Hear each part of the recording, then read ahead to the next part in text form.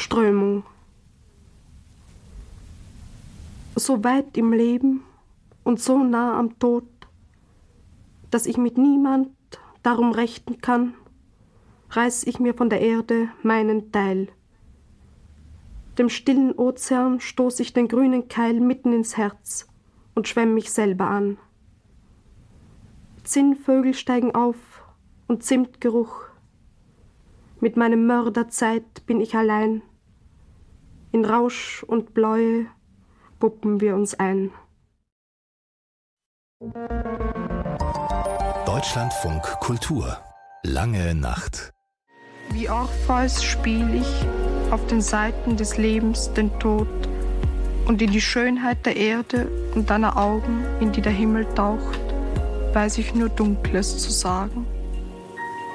Vergiss nicht, dass auch du an jenem Morgen, als dein Lager noch nass war von Tau und die Nelke an deinem Herzen schlief, den dunklen Fluss sahst, der an dir vorbeizog. Du neigtest dich über ihn, schriest auf und batest mich, dir mit dem Bogen das Haupt abzutrennen. Die Seite des Schweigens gespannt auf die Welle von Blut griff ich dein tönendes Herz. Verwandelt ward deine Locke in Schattenhaar der Nacht. Der Finsternis schwarze Flocken beschneiden dein Antlitz. Und ich gehöre dir nicht zu. Beide klagen wir nun. Aber wie Orpheus weiß ich auf der Seite des Todes das Leben und mir blaut dein für immer geschlossenes Auge.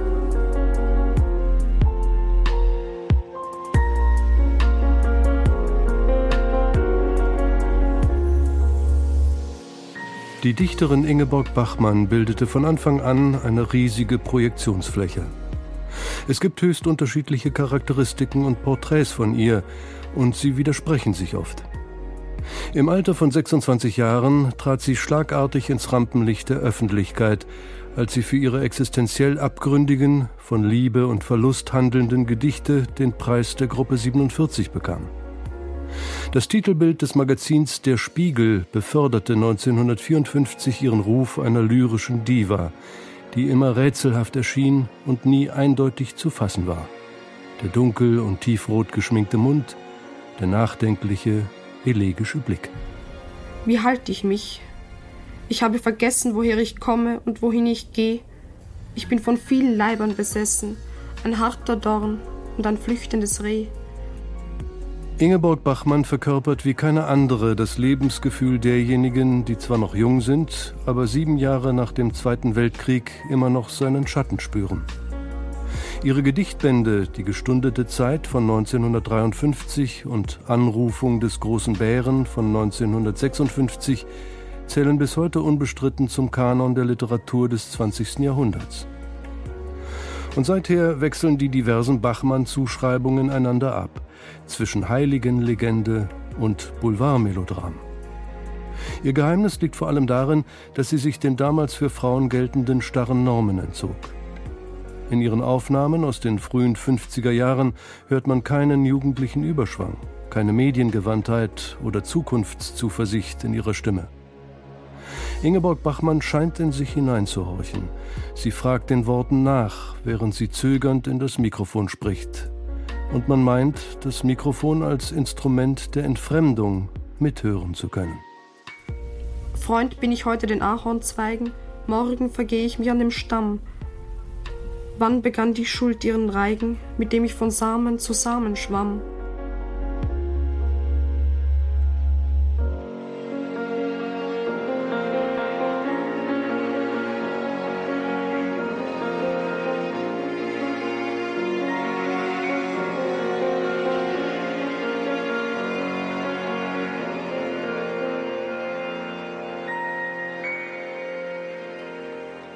Ingeborg Bachmann wurde am 26. Juni 1926 im österreichischen Klagenfurt geboren.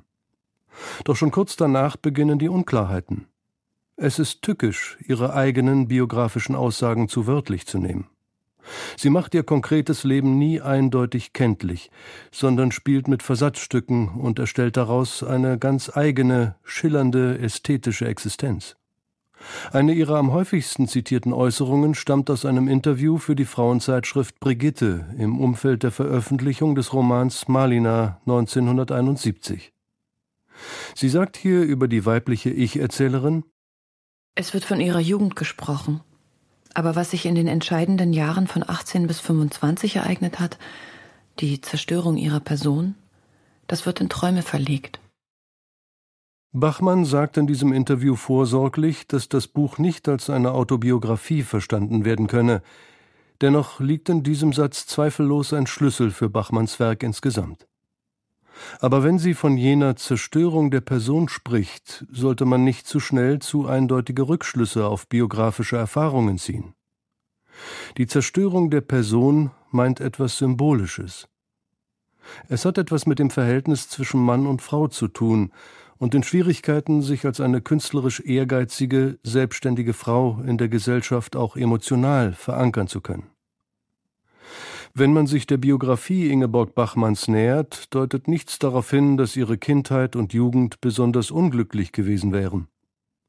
Das Geiltal mit den Orten Hermagor und Oberfellach, wo sie viele Jahre lang mit ihren Eltern und ihren Geschwistern die Ferien verbrachte und im Krieg auch Zuflucht suchte, erscheint in ihren Texten später immer wieder wie eine beschirmende Kindheitsvision. In Oberfellach war ihr Vater aufgewachsen, und dieser Ort bildet das Zentrum eines imaginären Galizien, das Bachmann in ihrem Spätwerk in Anlehnung an das ehemalige Habsburgerreich beschwört. In dieser Ecke Kärntens stoßen drei Länder aufeinander Österreich, Slowenien und Italien. Die Utopie des Vielvölkerstaats, die in der KK-Monarchie aufschien, blieb für diese Autorin zeitlebens prägend. Im Gedicht Prag Jänner 64, das von einer heilsamen Reise nach Prag in einer Phase der tiefsten Krise ausgeht, heißt es Seit dieser Nacht gehe und spreche ich wieder. Böhmisch klingt es, als wäre ich wieder zu Hause, wo zwischen der Moldau, der Donau und meinem Kindheitsfluss alles einen Begriff von mir hat. Bachmann hat ihre Heimat immer wieder thematisiert. 1952 spielt sie in einem kleinen biografischen Text für den Rundfunk eine ähnliche Rolle. Die Perspektive war allerdings noch etwas anders. Ich habe meine Jugend in Kärnten verbracht, im Süden, an der Grenze, in einem Tal, das zwei Namen hat, einen deutschen und einen slowenischen.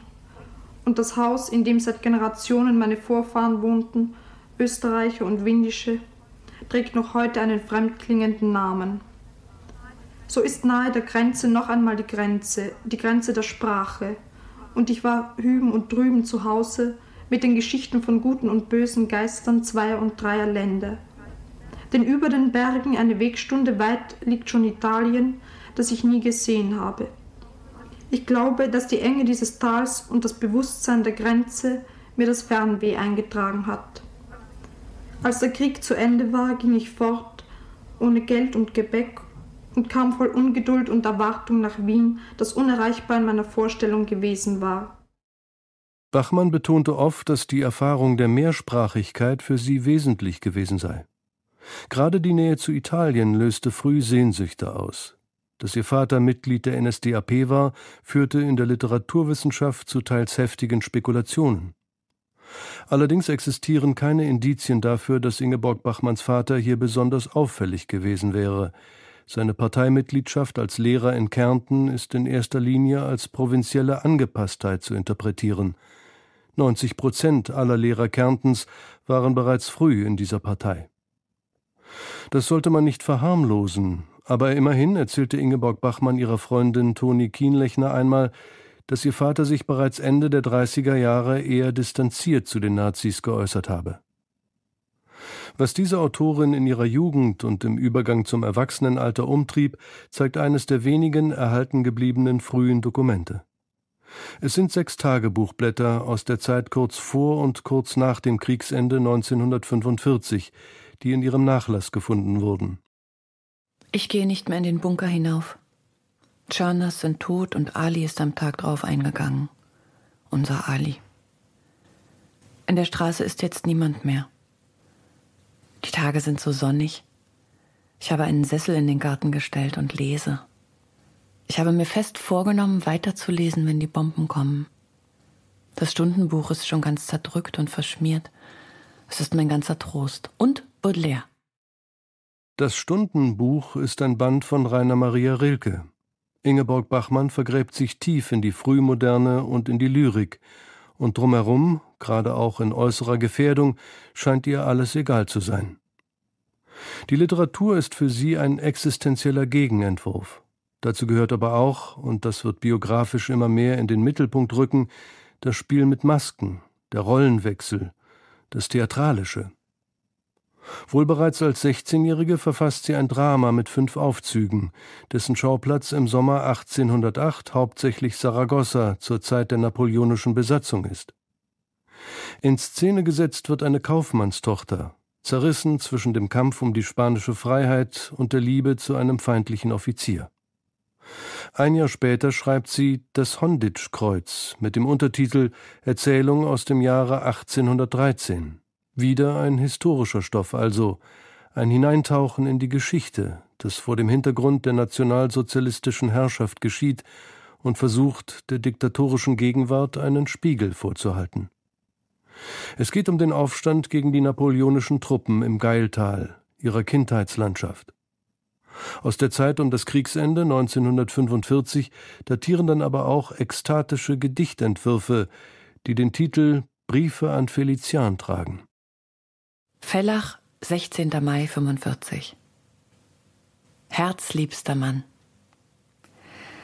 Hätte ich nur eine Seele, so müsste ich sie suchen in den dunklen Nächten, die wie heute vor meinem Fenster liegen. Ich bin tagelang stumm und ohne die wachen Sinne, die mich zu dir tragen, die mich in die Berge führen und in die Tiefe stürzen. Manchmal fühle ich, dass ich dich liebe. Wer hier angesprochen wird, ist augenscheinlich ein Phantom. Der Angesprochene mit dem hymnischen Namen Felician ist schwer zu fassen. Er changiert zwischen einem himmlischen Erlöser und einem Geliebten und scheint eine ideale Projektionsfläche für jugendliche Fantasien zu sein. Es gibt Indizien dafür, dass dieses Phantom zumindest mittelbar mit einem Mann zusammenhängt, der Josef Friedrich Perkonig hieß, Ingeborg Bachmanns Lehrer an der Klagenfurter Lehrerfortbildungsanstalt, der als Kärntner Lokalschriftsteller eine Instanz darstellte und damit offenkundig die einzige Verbindung zur literarischen Welt verkörperte, die ihr zugänglich war.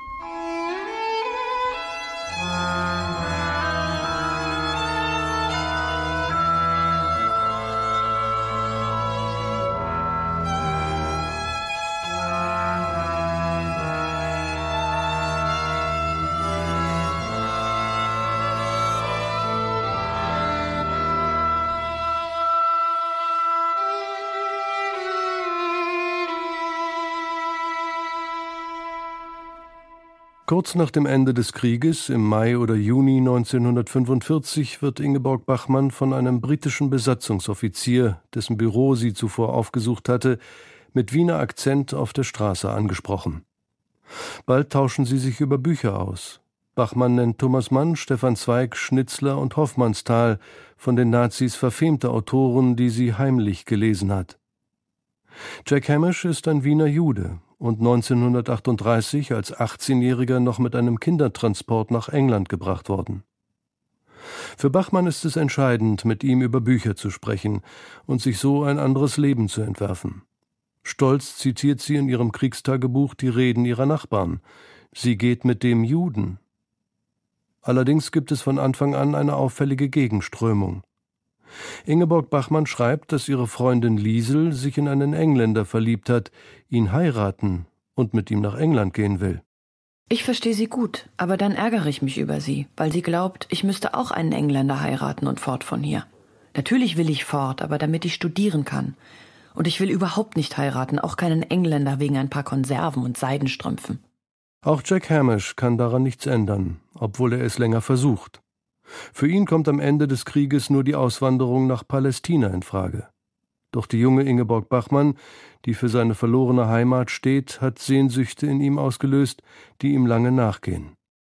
Lass neue Brücken erstehen, denn mein Weg führt zu dir, liebe Inge. Und schreibe mir bitte nicht mehr, dass das Freisein glücklich macht. Schreibt er ihr noch am 16. Juli 1947 aus Tel Aviv.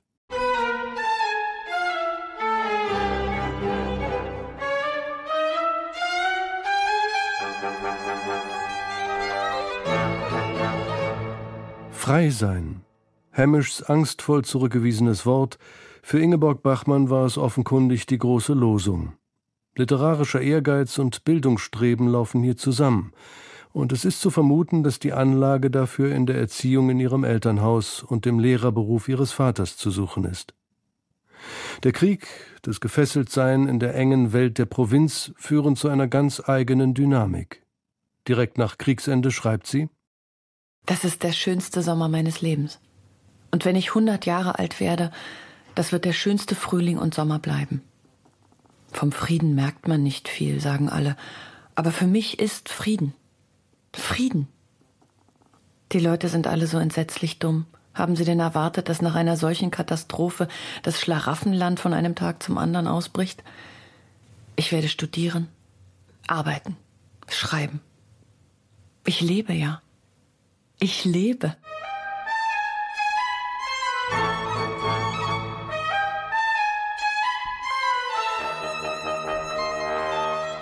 Ingeborg Bachmann wollte ausbrechen. Die Metropole Wien war von Anfang an ihr großer Sehnsuchtsraum, da wo das literarische Leben, so wie es ihr vorschwebte, einen konkreten Ort hatte. Ihre Obsessionen lagen in der Literatur, und sie drückte das auch völlig emphatisch so aus. In meiner Trunkenheit kann ich nur maßlos sein und trinken und nehmen und dauern. Diese Form von Maßlosigkeit war in Kärnten nicht zu haben. Über Innsbruck und Graz schaffte sie es im Wintersemester 1946-47 endlich nach Wien, der Stadt, die sie mit einem Freisein identifizierte. Sie studierte weiter, in erster Linie Philosophie und Germanistik, und setzte vor allem auch ihre literarischen Versuche fort.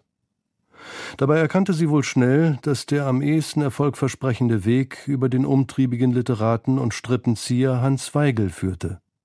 Weigel, 18 Jahre älter als Bachmann, war als Jude während des Kriegs in die Schweiz emigriert, dann aber sofort wieder nach Wien zurückgekehrt und hielt dort nahezu alle Fäden des literarischen Lebens in der Hand. Wie zielstrebig Ingeborg Bachmann vorging, ist bemerkenswert. Am 5. September 1947 war die Premiere der von Hans Weigel verantworteten Revue Seitensprünge im Theater in der Josefstadt. Vor der Aufführung, das hat Weigel selbst so beschrieben, bat ihn eine schüchtern wirkende, aus Kärnten stammende und sich als Journalistin ausgebende Studentin um ein Interview. Dieses Interview ist nie erschienen. Aber es war der Beginn der intimen Beziehung zwischen Weigel und Bachmann. Es gibt einen Briefwechsel zwischen den beiden, der vor allem die Zeit zwischen Mai und September 1948 betrifft, als Weigel für einen Arbeitsaufenthalt in New York war. In diesen Briefen spielte Bachmann, äußerlich meist sehr selbstsicher, ziemlich gekonnt die Rolle des süßen Wiener Mädels, das spätestens seit Arthur Schnitzler zu einem geläufigen Typus geworden ist. Wer hätte das vor einem Jahr gedacht, dass du dir dort wieder wünschen wirst, es käme dich so ein junger Aff, der kaum den Mund aufbringt, interviewen? Diesmal kommt er aber nicht, weil er inzwischen das Reden schon gelernt hat und auch sonst maßlos frech geworden ist. Ich hoffe, du machst dann nicht mehr so viel Geschichten und sagst gleich, was du von den jungen Mädeln hältst, die zur Zeitung wollen. Und dass es gescheiter ist, sie kommen bald an einen Mann etc. Und ich werde diesmal ja wieder blass nach rot werden, sondern dir gleich meine gefestigte Lebensanschauung ins Gesicht schleudern oder besser ins Gesicht küssen und gar nicht abwarten, ob du willst oder nicht. Ingeborg Bachmann probierte gerne Rollen aus. Hier ist sie bereits über erste Versuche hinausgelangt und beherrscht mühelos die Klaviaturen. Einer der Gründe für diesen kecken Umgang mit dem älteren Liebhaber und Förderer Hans Weigel mag in einem Ereignis liegen, dessen Bedeutung für ihre Biografie sie noch gar nicht absehen konnte. Am 17. Mai 1948 schreibt sie einen Brief an ihre Eltern. Gestern noch unruhige Besuche bei Dr. Löcker, Ilse Eichinger, Edgar Genet, surrealistischer Maler, wo es sehr nett war und ich den bekannten Lyriker Paul Celan etwas ins Auge fasste.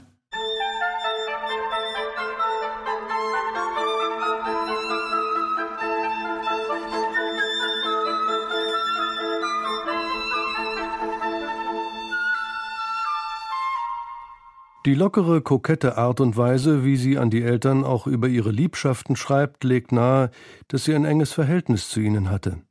Auch später wird sie oft nach Klagenfurt fahren, gerade auch in Zeiten von Krisen und Krankheiten.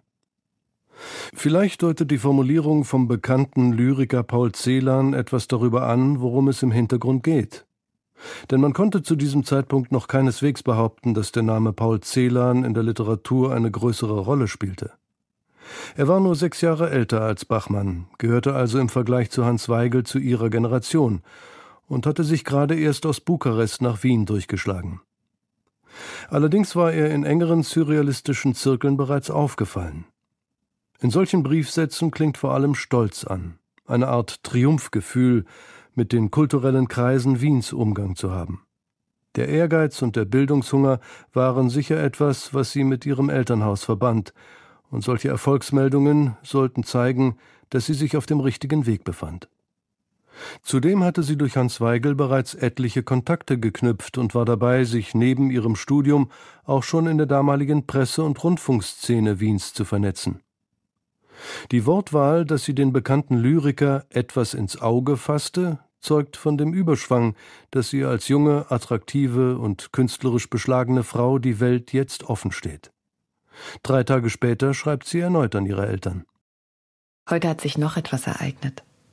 Der surrealistische Lyriker Paul Celan, den ich bei dem Maler Genet am vorletzten Abend mit Weigel noch kennenlernte und der sehr faszinierend ist, hat sich herrlicherweise in mich verliebt. Und das gibt mir bei meiner öden Arbeiterei doch etwas Würze. Leider muss er in einem Monat nach Paris.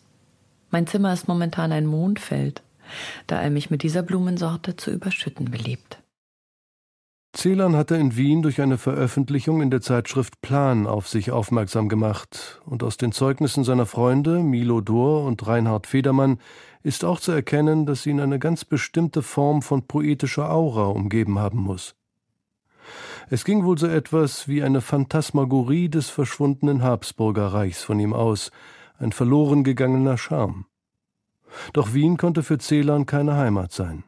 Dass die Hauptstadt der ehemaligen K&K-Monarchie das Lebensgefühl seiner am östlichsten Rand gelegenen Heimatstadt Czernowitz urban und weltoffen fortsetzen könnte, erwies sich als Chimäre.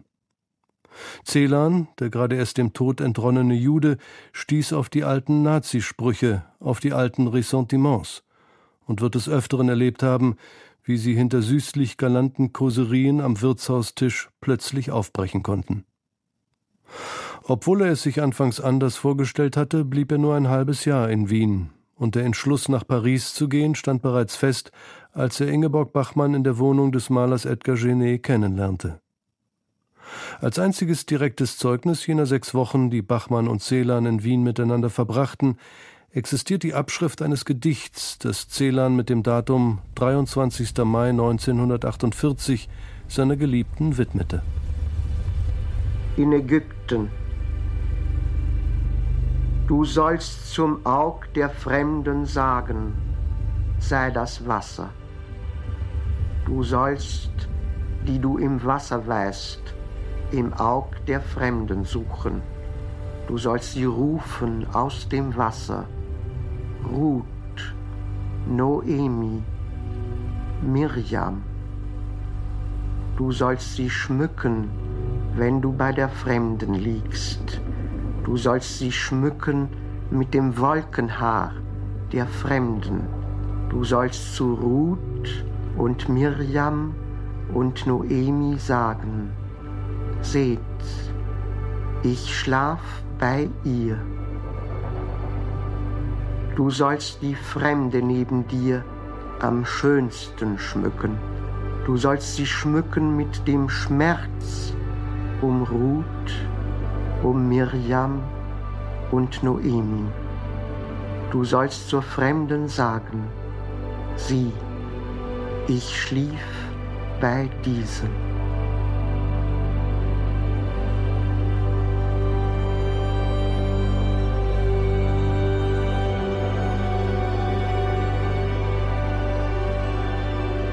Dieses Gedicht ist so etwas wie ein Programmgedicht der Liebe zwischen Celan und Bachmann. Es wird noch sehr wichtig werden.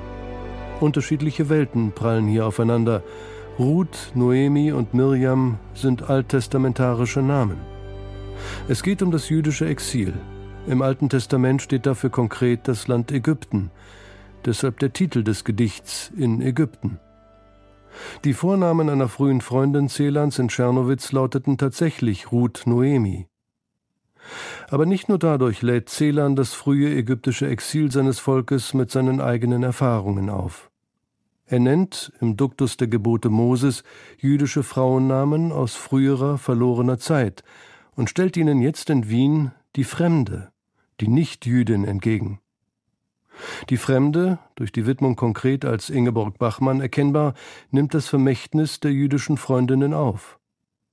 Sie wird dadurch für Celan zum Zeichen der Hoffnung, zum Medium einer deutschen Sprache, die er sich jenseits des Massenmords an den europäischen Juden als seine Muttersprache neu erschreiben kann. Dass dies in Ingeborg Bachmann etwas auslöst, ist unverkennbar. In ihrem Briefwechsel, der allmählich nach seinem Weggang nach Paris beginnt, werden die sechs gemeinsamen Wochen im Wiener Frühling schnell zu einem privaten Mythos. Ich werde gewiss nie mehr durch den Stadtpark gehen, ohne zu wissen, dass er die ganze Welt sein kann. Und ohne wieder der kleine Fisch von damals zu werden. Auch in Bachmanns Briefen an Hans Weigel tut sich etwas. Noch im Mai, er ist erst seit kurzem in New York, hat sie ihm, dem so viel Älteren, geschrieben ich habe jetzt ganz wirklich einen 40-jährigen Mann. Ach, ich bin sehr glücklich. Ich bin ganz verlegen, beinahe ein bisschen verliebt, obwohl mir das mit meinen Jahren nicht gut stehen kann. Hast du mich verstanden? Ich hab dich lieb. Ich ha Platz sparen. Am 23. Juni aber, nur wenige Wochen später, hört sie sich schon ganz anders an. Und das hat sicher etwas mit ihrem Verhältnis zu Paul Celan zu tun und dem Bewusstsein, dass dieser nur noch wenige Tage in Wien sein wird. Jetzt schreibt sie an Weigel. Ich habe immer das Gefühl, ich sink ganz tief hinunter, wie in einen Schlamm, aus dem man nicht mehr heraus kann, und weiß aber nicht, woher dieses beinahe schmutzige Tiefgefühl herkommt. Ich habe es sicher nur, weil ich von Zeit zu Zeit so erhöht leben kann wo alles schön und leidenschaftlich genommen wird. Jetzt ist's eine große Abstoßung. Ich mag nichts an mich kommen lassen, obwohl ich ja gänzlich amoralisch bin, nur aus diesen dunklen existenziellen oder geistigen Dingen heraus.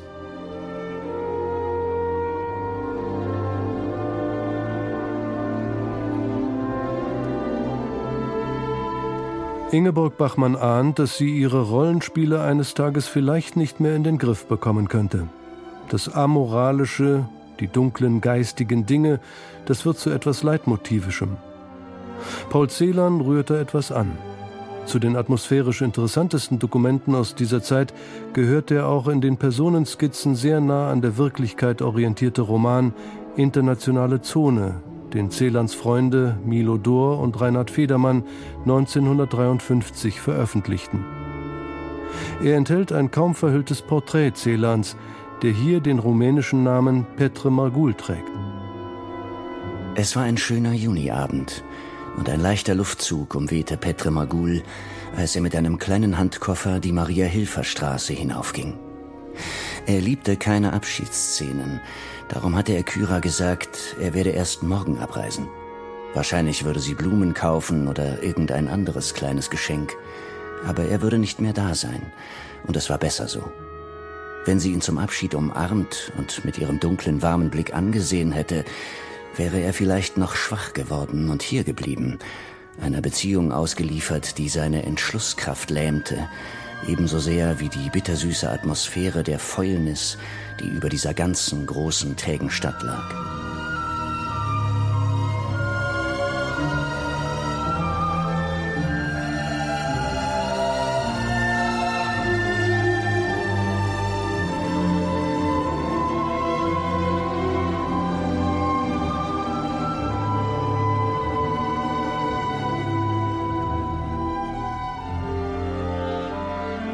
Kaum war Hans Weigel, mit dem Ingeborg Bachmann seit einem halben Jahr liiert war, in die USA abgereist, begegnete sie also Paul Celan.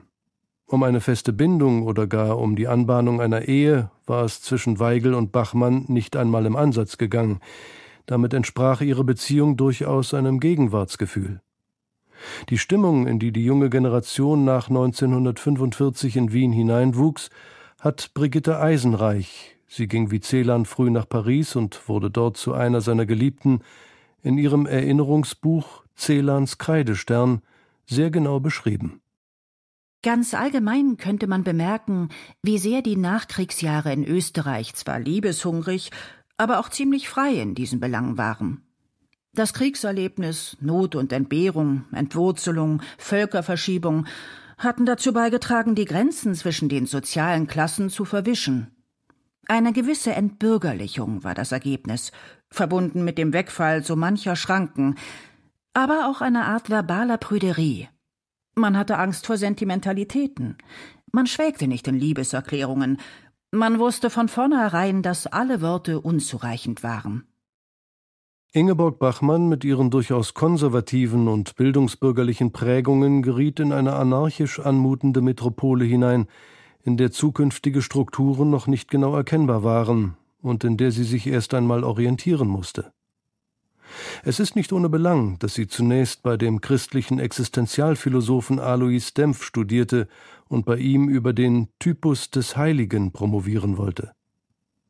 Im Zuge neuer Wiener Erfahrungen wandte sie sich dann der Sprachphilosophie des Wiener Kreises zu und begann sich für Ludwig Wittgenstein zu interessieren. Ähnlich ging es ihr bei ihren literarischen Bestrebungen. Ihre erste Veröffentlichung in Wien waren vier Gedichte, die im Frühjahr 1948 in der Zeitschrift Linkois Dichtung, Kunst, Kritik erschienen. Sie bewegten sich in einer lyrischen Tradition, die etwas Schwerblütiges, jugendlich Hoffmannstalsches als Leitlinie hatte. Es könnte viel bedeuten. Wir vergehen, wir kommen ungefragt und müssen weichen. Doch dass wir sprechen und uns nicht verstehen und keinen Augenblick des andern Hand erreichen, zerschlägt so viel. Wir werden nicht bestehen. Schon den Versuch bedrohen fremde Zeichen, und das Verlangen, tief uns anzusehen, durchtrennt ein Kreuz, uns einsam auszustreichen. Das Vergänglichkeitsmotiv Hoffmannsthals wird hier so nahtlos aufgenommen, dass es wie eine Stilkopie wirkt. Dies ist der lyrische Hintergrund, vor dem sich für sie die Begegnung mit Paul Celan abspielt. Celans Gedichte folgten einem anderen ästhetischen Ideal. Bei Celan stieß sie auf eine sehr zeitgenössische Möglichkeit jenes hohen, ernsten, lyrischen Sprechens, nach der sie selbst suchte, aber dabei noch sehr traditionellen Schemata verhaftet war. Zudem stammte Celan aus einem fernen, orientalisch anmutenden Land, einem Märchenland mit Gesängen und Späßen, die etwas anderes anrührten. Später wird Celan in Texten Ingeborg Bachmanns in verheißungsvoll fremden Figuren aufscheinen, wie ein Prinz aus einer Landschaft der Sehnsucht. Kein Kontrast könnte größer sein als derjenige zu jener Figur, die abrupt in Hans Weigels ziemlich melodramatischem Schlüsselroman Unvollendete Symphonie aus dem Jahr 1951 auftaucht.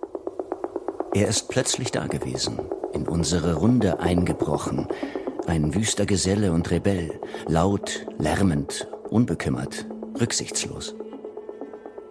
Weigel verarbeitet hier seine Affäre mit Ingeborg Bachmann und hinter dem neuen Mann in ihrem Kreis verbirgt sich eindeutig Paul Celan. Die gemeinsame Zeit in Wien blieb für Bachmann und Celan selbst so etwas wie ein Mirakel, eine Leuchtschrift, nicht genau zu entziffern. Es war eine gegenseitige Anziehung und Irritation, und in den Momenten, in denen sie diese Atmosphäre später noch einmal evozierten, wird vor allem eine Ungewissheit deutlich, eine Unsicherheit. Ich weiß noch immer nicht, was der vergangene Frühling bedeutet hat. Notiert Ingeborg Bachmann Weihnachten 1948, ein halbes Jahr nachdem Celan Wien verlassen hat. Die 22-Jährige spricht mit verschiedenen Stimmen. Zum Teil spielt sie Theater, zum Teil probiert sie aus, welcher Ton zu ihr passen könnte und einige Monate nach der Begegnung mit Celan scheint sie sich zu fragen, ob darunter auch eine innere Stimme verborgen ist, die andere besser nicht hören sollten.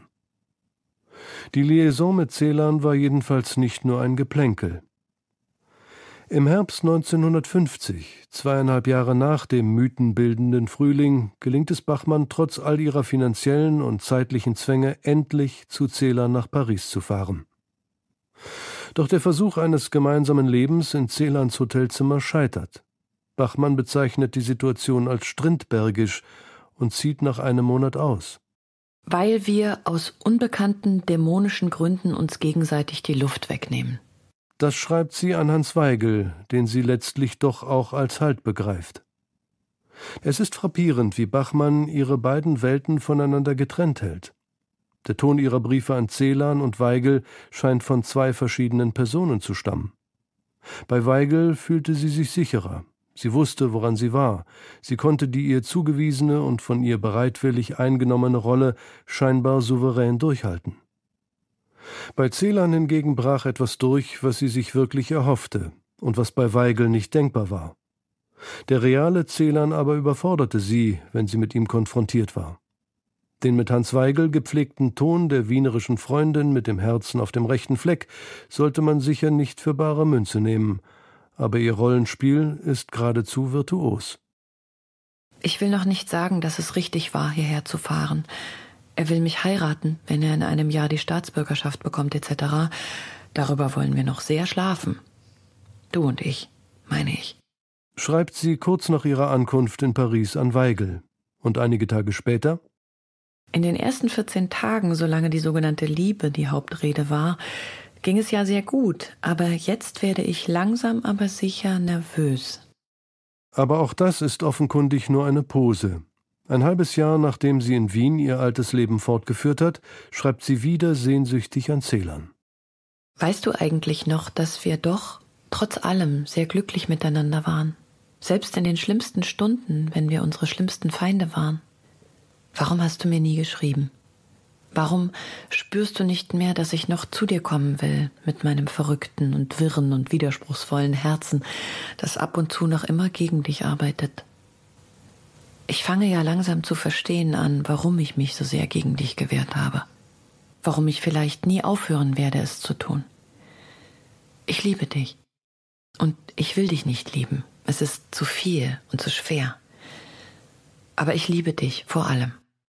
Heute sage ich es dir, auch auf die Gefahr hin, dass du es nicht mehr hörst oder nicht mehr hören willst.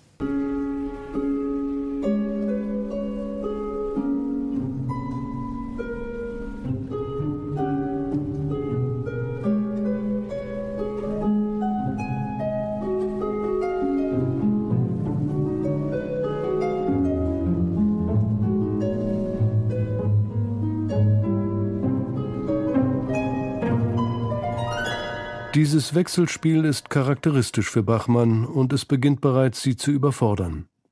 Sie zeigt sich zerrissen zwischen ihrem Leben in Wien, wo sie mittlerweile beim Rundfunk arbeitet, erste Erfolge verzeichnet und weiter das Glamour Girl spielt, und der großen Sehnsucht nach dem, was Celan für sie verkörpert. Schon kurz nach ihrer Rückkehr nach Wien schreibt sie an Celan, allem Anschein nach ohne Maske, es ist Ostermontag und ich bin zum ersten Mal aufgestanden nach einer Krankheit, die nicht sehr arg war, die mir aber sehr wichtig war, die mir fast wunderbar zu Hilfe gekommen ist. Denn ich wusste nicht mehr, wie ich es hier und wie ich es hier mir recht machen sollte. Der erste Fehler war, dass ich eine Woche mein altes Wiener Leben weiterspielte, genau so, als wäre nichts gewesen, dann plötzlich verzweifelt und hysterisch abbrach und nicht aus dem Haus wollte und dabei doch wusste, dass es so nicht immer bleiben könne. Celan aber, der auf seine Weise den älteren Mentor spielt, weist sie jetzt harsch zurück. Er wird geradezu zu einem Patriarchen. Du hast bisher mehr vom Leben gehabt, Inge, als die meisten deiner Altersgenossen. Keine der Türen ist dir verschlossen geblieben. Und immer wieder tut sich dir eine neue Tür auf. Du hast keinen Grund, ungeduldig zu sein, Ingeborg. Und wenn ich eine Bitte äußern darf, so ist es gerade diese. Denk, wie rasch alles dir zu Gebote steht. Und sei nun ein wenig sparsamer mit deinen Ansprüchen. Doch je weiter entfernt Celan ist, desto verheißungsvoller wird die Utopie, die Bachmann in einem Leben mit ihm sieht. Zumal Hans Weigel überraschend eine andere heiratet, eine Schauspielerin. Im Spätherbst 1951 beginnt Bachmann immer offensiver, um Celan zu werben, und sie bietet ihm konkrete Unterstützung im deutschen Literaturbetrieb an. Celan schlägt sich immer noch mittellos in Paris durch und versucht verzweifelt, für seine Gedichte einen deutschen Verlag zu finden. Sie denkt daran, trotz vieler Bedenken eine feste Stellung beim Radio anzunehmen. Für uns, wie sie sagt. Dabei leidet sie selbst zusehends am Kulturbetrieb. Bei allem äußeren Glitter spürt sie, dass Celan der Einzige ist, der mit ihr das andere zu leben versuchen würde, wie sie es nennt. Celan reagiert zunächst lange gar nicht und lehnt dann brüsk ab. Ich habe alles auf eine Karte gesetzt und ich habe verloren. Was mit mir weiter geschieht, hat wenig Interesse für mich. Ich kann, seit ich aus Paris zurück bin, nicht mehr leben, wie ich früher gelebt habe. Ich habe das Experimentieren verlernt.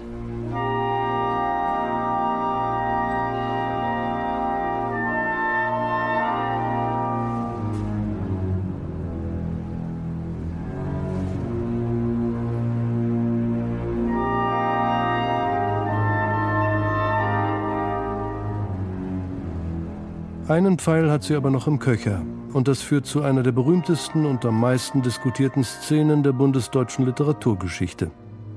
Bachmann weiß, dass sie sich bei ihren literarischen Ambitionen nicht allein auf Hans Weigel verlassen kann, ja, dass sie sich nicht nur auf Wien begrenzen sollte. In Deutschland hat sich für junge Autoren, die noch unbekannt sind und abseits der dort dominierenden, konservativ weihevollen Formen schreiben, mittlerweile ein Forum gebildet, die Gruppe 47. Deren Chef Hans-Werner Richter ist auf die Wiener Autorin Ilse Eichinger und ihren Roman Die größere Hoffnung aufmerksam geworden. Er kommt nach Wien, um sie zur nächsten Tagung der Gruppe 47 einzuladen. Und bei dieser Gelegenheit ist auch Eichingers Freundin Ingeborg Bachmann mit von der Partie. Spontan lädt Richter sie ebenfalls ein, und Bachmann versäumt nicht, auch Paul Celan ins Spiel zu bringen. Zielsicher wirbt sie bei Celan mit literaturbetrieblichen Argumenten. Abgesehen davon wird es wichtig für dich sein, weil die ganze deutsche Presse eingeladen ist. Die Literaturleute der deutschen Sender etc., die sofort die besten Erzählungen, Gedichte etc. kaufen. Es gibt viele Legenden über den Verlauf dieser Tagung im Mai 1952 in Niendorf an der Ostsee. Die hartnäckigste davon ist, dass Celan in der Diskussion nach seiner Lesung durchgefallen sei, dass man über ihn sogar gelacht habe. Tatsache aber ist, dass er bei der Abstimmung über den Preisträger unter mehr als 20 Autoren immerhin Dritter wurde. Ganz so schlecht kann er also gar nicht abgeschnitten haben. Zudem erreichte er durch seinen Auftritt bei der Gruppe 47 tatsächlich das, was er vorher jahrelang vergeblich versucht hatte, der Chef der Deutschen Verlagsanstalt bot ihm noch in Niendorf einen Buchvertrag an. Celans berühmter Gedichtband Mohn und Gedächtnis erschien ein halbes Jahr später. Es kam bei dieser Tagung zu Szenen, deren literaturgeschichtliche Bedeutung keinem der Anwesenden bewusst wurde. Celan las gleich am Anfang seines Auftritts, und im Publikum saß Ingeborg Bachmann, Justines Gedicht, das er damals in Wien für sie unter dem Eindruck ihrer ersten Begegnung geschrieben hatte. In Ägypten. Du sollst zum Aug der Fremden sagen, sei das Wasser. Du sollst, die du im Wasser weißt, im Aug der Fremden suchen. Du sollst sie rufen aus dem Wasser. Ruth, Noemi, Mirjam. Du sollst sie schmücken, wenn du bei der Fremden liegst. Nur Ingeborg Bachmann wusste, dass mit dieser Fremden sie angesprochen war. Dass Celan es bei ihrer Wiederbegegnung unter völlig anderen Rahmenbedingungen in Niendorf vor unbekanntem Publikum an erster Stelle las, war ein vieldeutiges Zeichen. Denn die damals begehrte Fremde war für ihn nun auch zum Teil eines ganz anderen Fremden geworden, des deutschen Literaturbetriebs nämlich. Wenn Celan die jüdischen Frauennamen Ruth, Noemi und Mirjam aussprach, in einem für die bundesdeutschen Zuhörer ungewohnten sanglichen Ton aus der kulturellen Tradition des ehemaligen Habsburgerreichs, dann potenzierte sich das Fremdheitsgefühl noch. Daraufhin leistete sich Gruppenchef Hans-Werner Richter einen skandalösen Missgriff. Er war ein erwiesener Antifaschist und reagierte aggressiv auf alles, was er mit dem Nationalsozialismus verband. Jede Form von Pathos lehnte er ab und plädierte für einen kargen, sachlichen Realismus. Nur so ist es zu erklären, dass er die Art von Celans Vortrag, die ihm wegen des hohen Burgtheatertons überhaupt nicht gefiel, beim Mittagessen im Kreis seiner engsten Freunde polemisch mit dem Nazi-Propagandachef Josef Goebbels gleichsetzte. Zu den wenigen, die diese Ungeheuerlichkeit als eine solche wahrnahmen, gehörte natürlich Ingeborg Bachmann. Ihre eigene Lesung stand dann aus verschiedenen Gründen unter einem ganz besonderen Stern.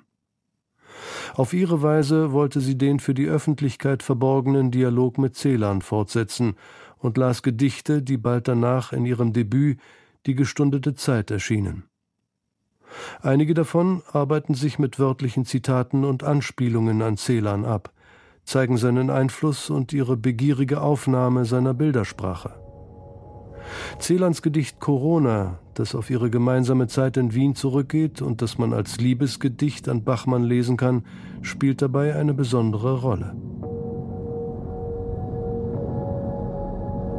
Mein Aug steigt hinab zum Geschlecht der Geliebten, wir sehen uns an, wir sagen uns Dunkles, wir lieben einander wie Mohn und Gedächtnis wir schlafen wie Wein in den Muscheln, wie das Meer im Blutstrahl des Mondes.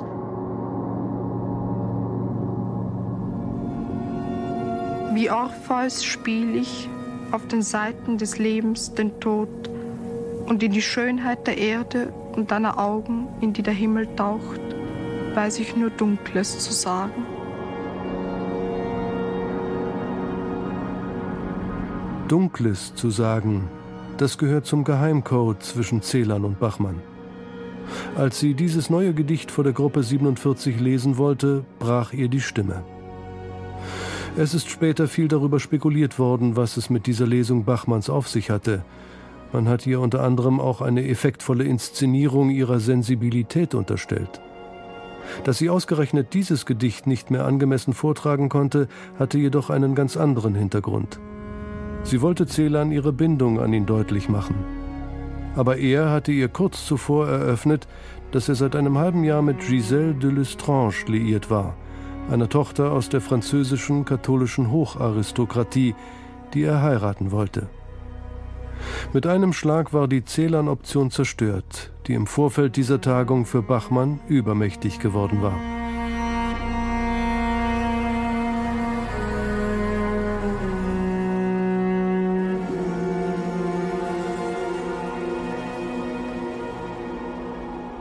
Sehr vielsagend ist, wie Celan selbst seine Erfahrungen bei dieser Tagung einschätzte.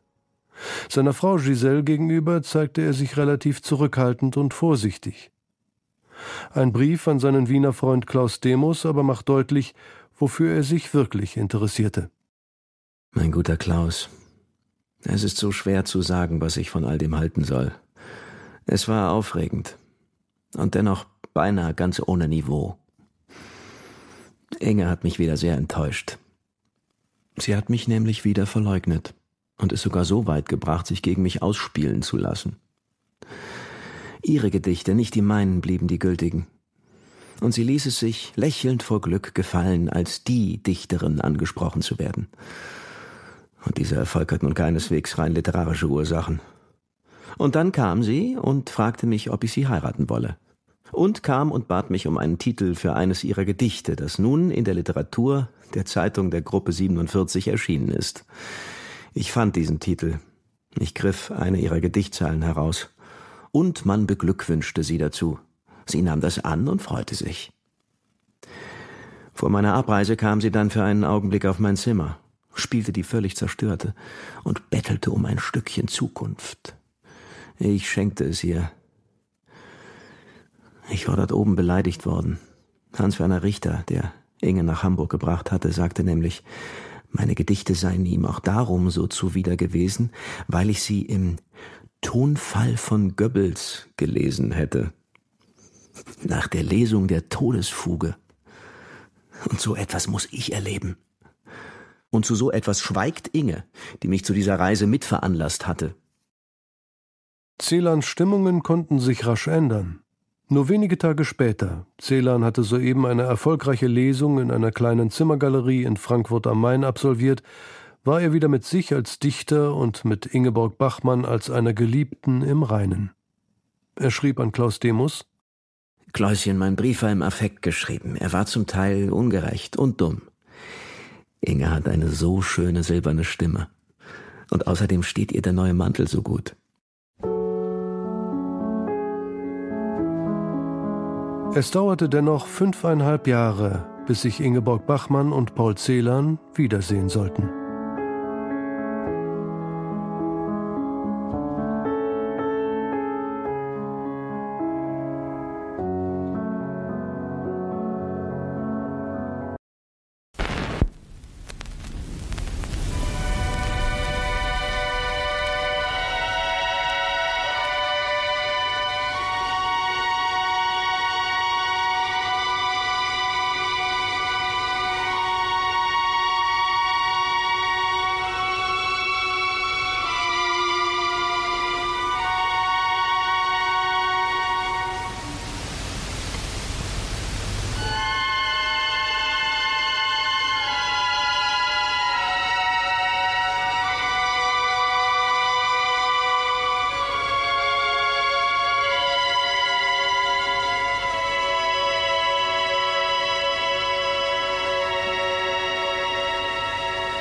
Italien war für Ingeborg Bachmann ein erträumtes Land, eines, das für Entgrenzung stand, eine Verheißung jenseits des Kärntnerischen.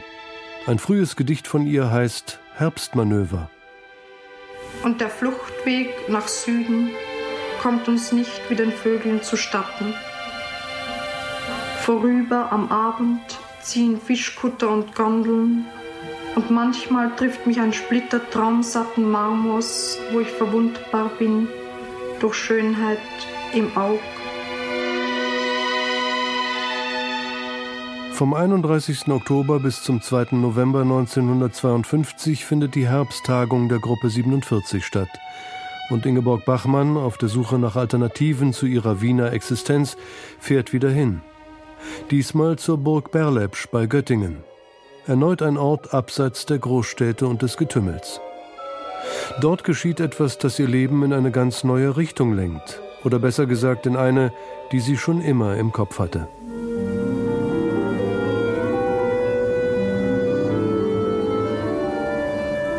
Es erklingt eine Musik, die wir schon einmal gehört haben. Aber das ist lange her. Ich weiß nicht wann und wo es war.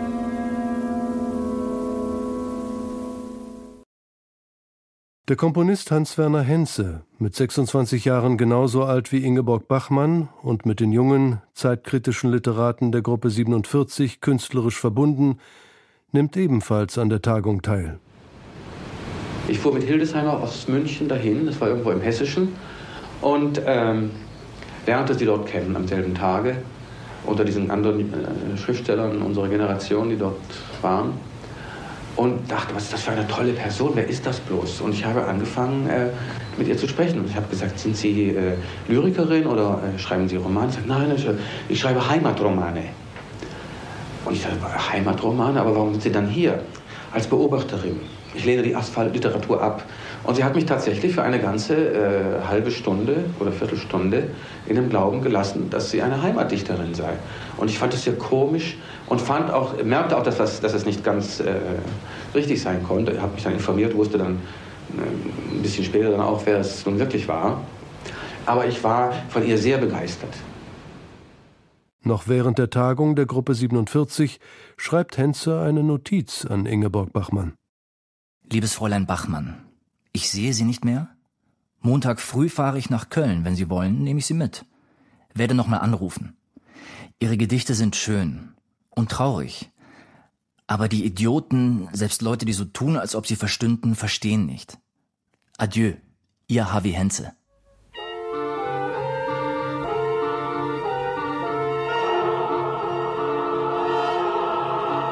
Wir hören die Musik wieder auf einer Insel. Diese Insel ist nicht sehr groß. Im Hafen kommt mittags ein Schiff an und bringt die Leute zurück, die am Vortag zur nächsten größeren Stadt ans Festland gefahren sind.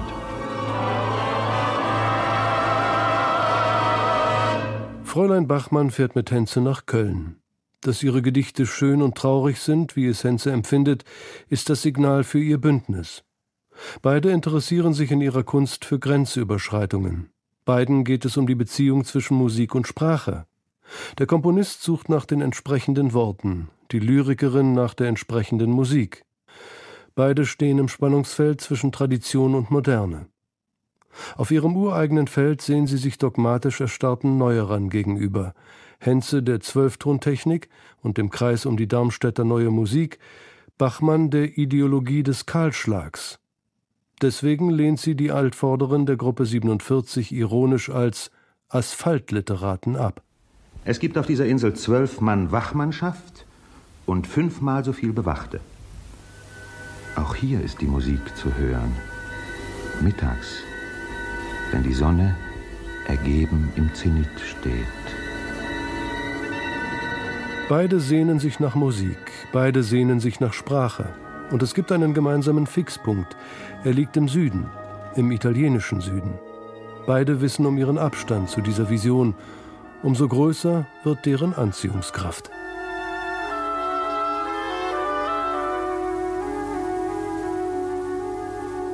Lasst uns eine Reise tun.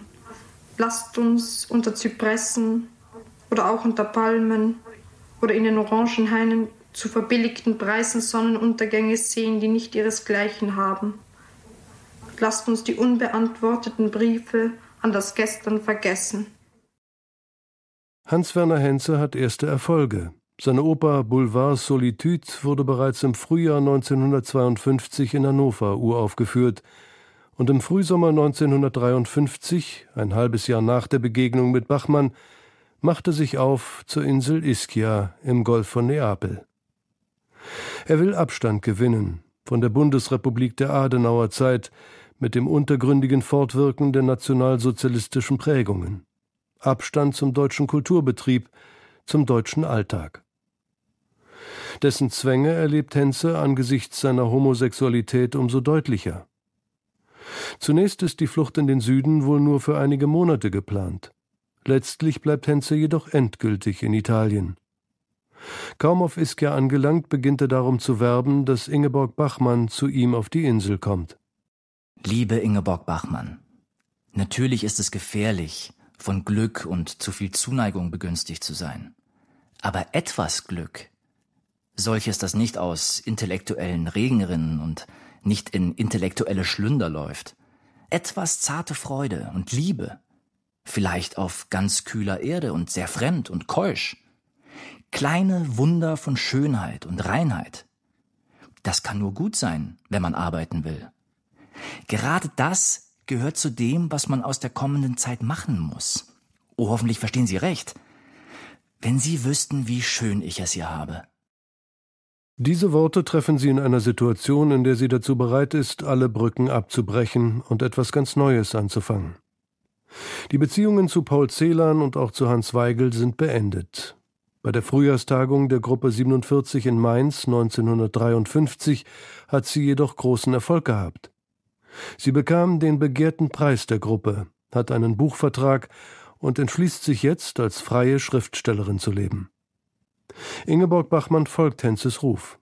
Als sie ihr Kommen ankündigt, schreibt er ganz überschwänglich Sie müssen sich zwingen, alles abzustreifen und auch keine Rückfälle zu haben. Aber jetzt keine Worte mehr. Telegrafieren Sie rechtzeitig, wann Sie ankommen.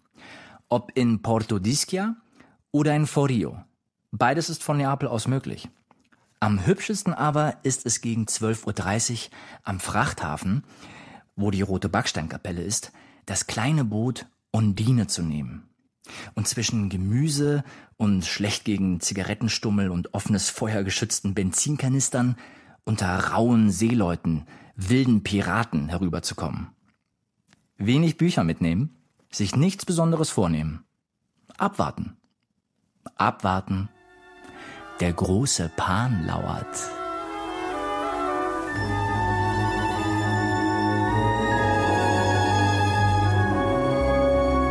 Die ersten gemeinsamen Monate auf Ischia von August bis Oktober 1953 haben etwas Rauschhaftes. Bachmann schreibt das Hörspiel Die Zikaden. Henze komponiert die Musik dazu. Denn es sind noch immer die Schiffbrüchigen, die auf Inseln Zuflucht suchen. Man wird mir erwidern, es trägt sie doch ein weißes, mit fröhlichen Wimpeln besetztes Schiff herüber. Sie haben große, volle Koffer zur Hand, sie sind barhäuptig und tragen bunte, flatternde Halstücher und an den Füßen luftige Sandalen. Und ich erwidere, man sieht es ihnen nur nicht an, dass sie schon ohne Kraft sind und am Ufer hinsinken werden, wenn keiner ihnen zusieht, mit geschlossenen Augen.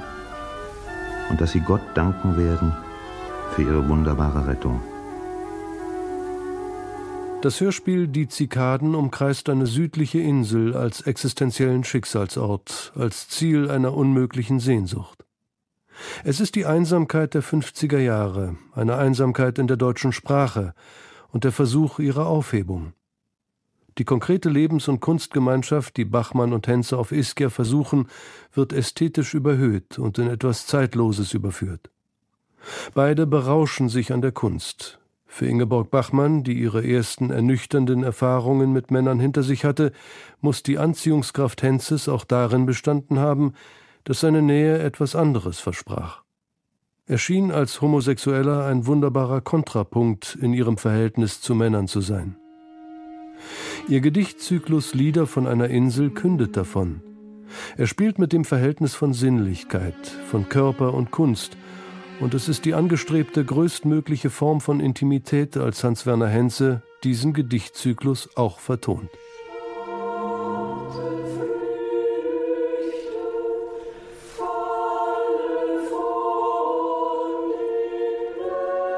Lieder von einer Insel. Schattenfrüchte fallen von den Wänden, Mondlicht düncht das Haus und Asche erkaltet der Krater, trägt der Meerwind herein. In den Umarmungen schöner Knaben schlafen die Küsten. Dein Fleisch besinnt sich auf meins.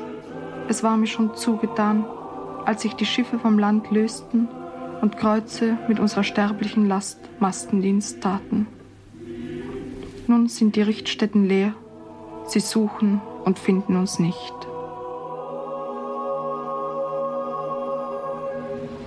Jedenfalls war sie eingetroffen und war auf der Piazza in Forio am, am Sonntag im August, das der Tag ist des heiligen Vitus, des heiligen Veit.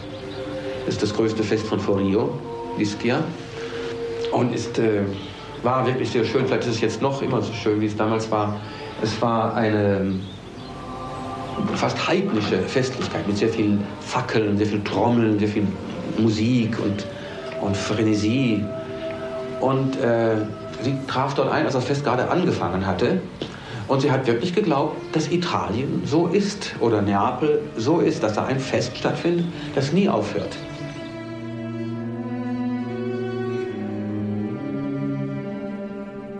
Während sie im Lauf der nächsten Monate mit Hans-Werner Henze ein künstlerisch losgelöstes Dasein fernab des politischen und literarischen Alltags zu leben versucht, verselbstständigt sich in Deutschland ihr Image in der Öffentlichkeit. Der Preis der Gruppe 47 war nur der Auslöser dafür. Eine Pharma von ihr geht um. Das Bild einer lyrischen Diva entsteht aus ihrer spezifischen Erscheinung, dem Changieren zwischen Schüchternheit und Koketterie. Beispielhaft für viele ähnliche Beschreibungen steht eine Aussage von Joachim Kaiser, einem der tonangebenden Kritiker bei der Gruppe 47. Wenn Sie die sahen, dachten Sie, das ist eine Dichterin. Dass sie natürlich, äh, wenn sie was vorlas, immer, immer mehr anfing zu hauchen und wie unter Tränen vorlas und dass sie dann eigentlich jedes Mal die Manuskriptblätter hinfielen und von allen Seiten stürzten die Männer, um diesem armen, scheuen Reh zu helfen, während die Frauen auch meine sagten, mein Gott, hat sie das nötig, immer diesen Zirkus machen und so. Das gehört dazu. Entfremdung. In den Bäumen kann ich keine Bäume mehr sehen.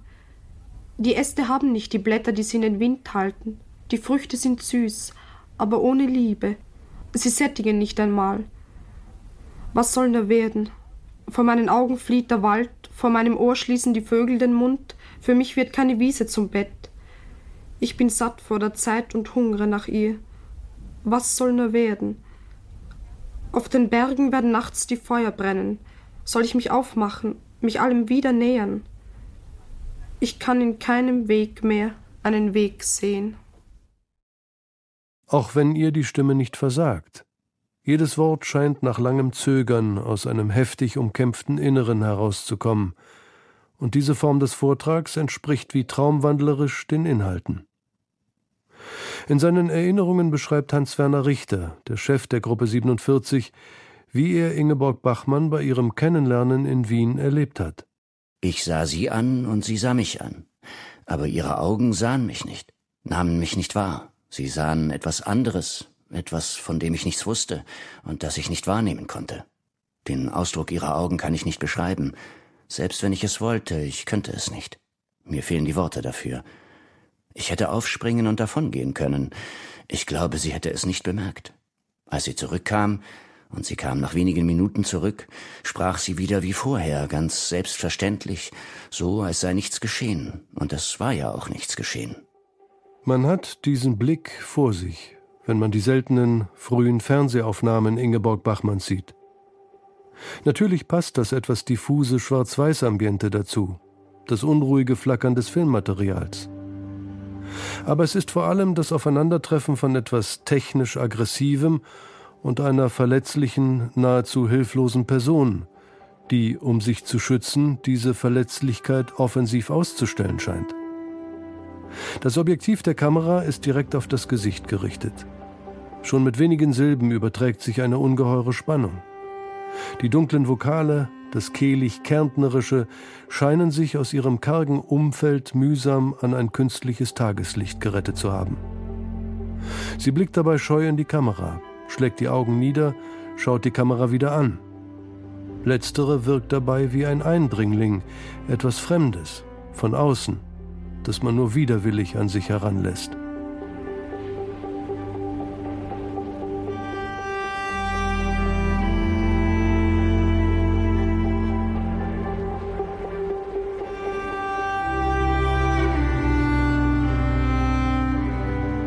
Liebe, Sehnsucht, Vergeblichkeit. Die Rezensenten der beiden Gedichtbände Bachmanns 1953 und 1956 sind hingerissen. Das Bild der zarten, zeitlos zaubernden Lyrikerin wird der jungen Bachmann übergestreift. Ein schönes Mädchen, flirrend in der Bescheidenheit dessen, der noch nicht lange schreibt. Wolfgang Weihrauch, 1953. Das lyrische Jahr 1953-54 hat alle Aussicht, in die Literaturgeschichte einzugehen. Es hat uns einen neuen Stern am deutschen Poetenhimmel beschert. Günter Blöcker, 1954. Die höhere Einfachheit des Ausdrucks bezeichnet die Einweihung in einen höheren Modus der Welterfahrung. Einen Modus, der nicht mehr so stark von den Zufälligkeiten der zeitgenössischen Szenerie, sondern vom Notwendigen, immerwährenden, urbildlich Wahren bewegt ist. Hans Egon Holthusen, 1958. Die Herren überbieten sich. Und dazu passt auch die Titelgeschichte im Wochenmagazin Der Spiegel vom August 1954. Auf dem Cover ein Foto der Autorin, in dem der zeitgenössische Existenzialismus sinnlich greifbar wird. Der Spiegeltext greift die damals virulente konservative Modevokabel des unbehausten Menschen auf und beschreibt Bachmanns Lyrik raunend als Feindlichkeit der Zeit und Erlösung in Schlaf und Traum. Bachmann wird hoch gelobt, hoch geehrt und fühlt sich missverstanden. Sicher, sie bezieht sich auf die Tradition eines hohen Tons in der Lyrik, ihr eignet ein spezifisches Pathos. Aber wie Celan konfrontiert sie diese Prägungen mit den Erfahrungen der unmittelbaren Zeitgeschichte. Sie sieht sich keineswegs als Dichterin der Restauration, des Zeitlosen, eines urbildlich Wahren. Sie beschreibt auch die Ausweglosigkeit aus der Geschichte, das Fortleben des Nationalsozialismus, die Entfremdung im sich rasch entwickelnden Nachkriegskapitalismus. Bachmanns Verhältnis zu ihrer Zeit drückt sich in einem Gedicht wie Alle Tage geradezu exemplarisch aus. Ein Gedicht, das die jubelnden Rezensenten lieber ausließen.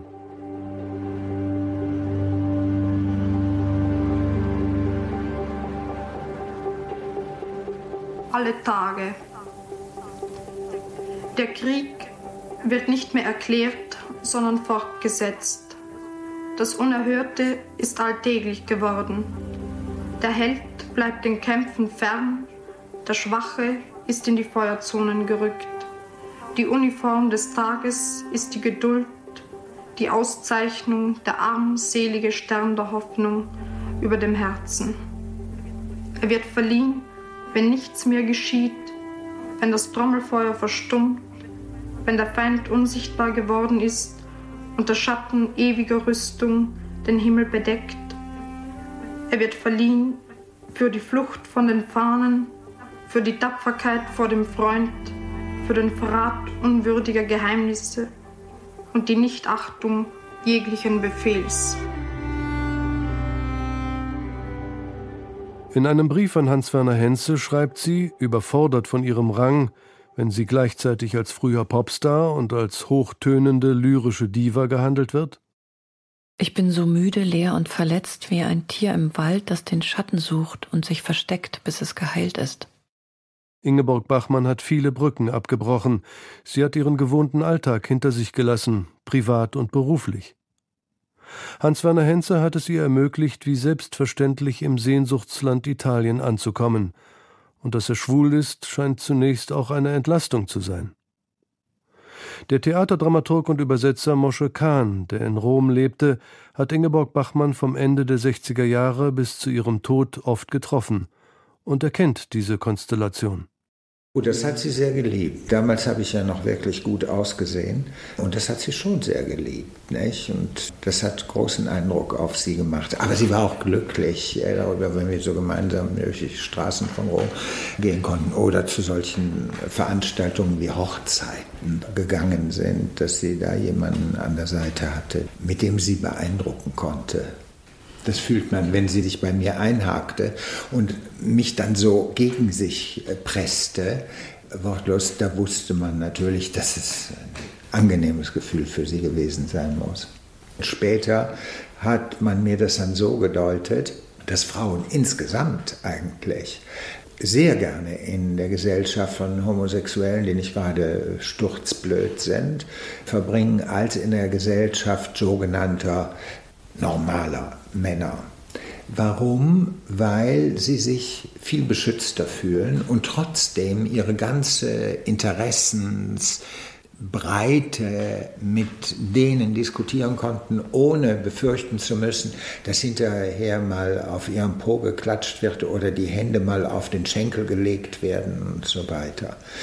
Ich glaube, es gab auch bei ihr und Hans-Werner Henze nie dieses Thema. Sie wusste einfach, der ist schwul und sie verzehrte sich aber nach ihm. Er war ja ihr Prinz, das hat sie ja auch dem armen Max Frisch gesagt, nicht? Du bist mein Geliebter, aber der ist mein Prinz. Nur war das die falsche Wahl. Und sie hat sich da in etwas hineingesteigert, weil sie dachte, ach vielleicht durch, durch Geduld und durch die Gleichartigkeit der Interessen, der künstlerischen Interessen, äh, könnte das vielleicht etwas werden, aber ich spekuliere hier. Für uns war es nie ein Thema. Ingeborg Bachmann will sich auch unabhängig von Henze in Italien niederlassen. Sie sucht sich in Rom eine eigene Wohnung. Aber manchmal holen sie ganz andere Fragen wieder ein. Im Frühling 1954 bringt Ilse Eichinger, mit der sie jahrelang im dritten Wiener Bezirk um die Häuser gezogen ist, ihr erstes Kind zur Welt. Bachmann schreibt ihr sofort, gratuliert ihr. Aber sie gesteht, Manchmal ist meine Sehnsucht größer nach der kleinen Krebsigkeit als nach euch. Und das versteht ihr hoffentlich auch. Nach den Fingern und nach dem Schreien und allem, was rosig ist. Ich möchte es ganz vehement und zart halten und nur anschauen. Und manchmal könnte ich auch heulen, weil ich das Gefühl habe, dass ich nie eins haben werde.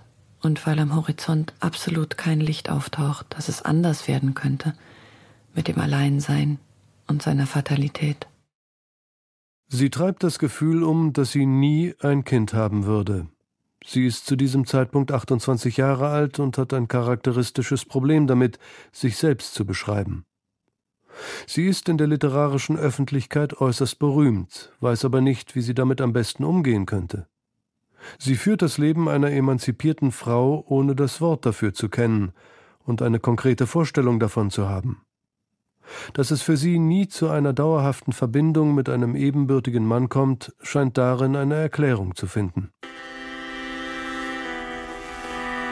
Zentrale literarische Texte Bachmanns, die beiden Gedichtbände, vor allem auch das 1957 geschriebene Hörspiel Der gute Gott von Manhattan, umkreisen dieses Problem.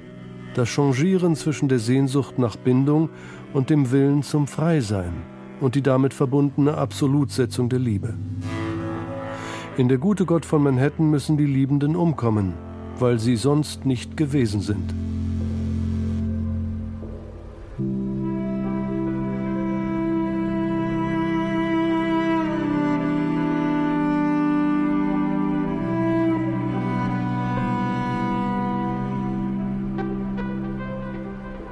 Der unbändige Wunsch nach Freiheit, den sie immer wieder bekundete, ließ sich in der Realität nicht genau konturieren. Die Freiheit einer selbstständig lebenden Frau war in den 40er und 50er Jahren gesellschaftlich nicht vorgesehen.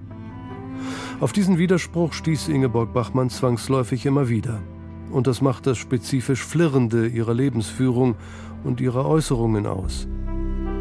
Erstaunlich viele ihrer Texte lassen erkennen, dass sie mit ihnen unterschiedliche Selbstbilder ausprobiert, die diesen besonderen Herausforderungen entsprechen. Schon ihre ersten erhaltenen Texte zeigen, sie war schon früh eine Spielerin. Sie spielte mit Erfahrungen und Erlebnissen aus ihrer Biografie und später umso intensiver mit den Erwartungshaltungen der Öffentlichkeit.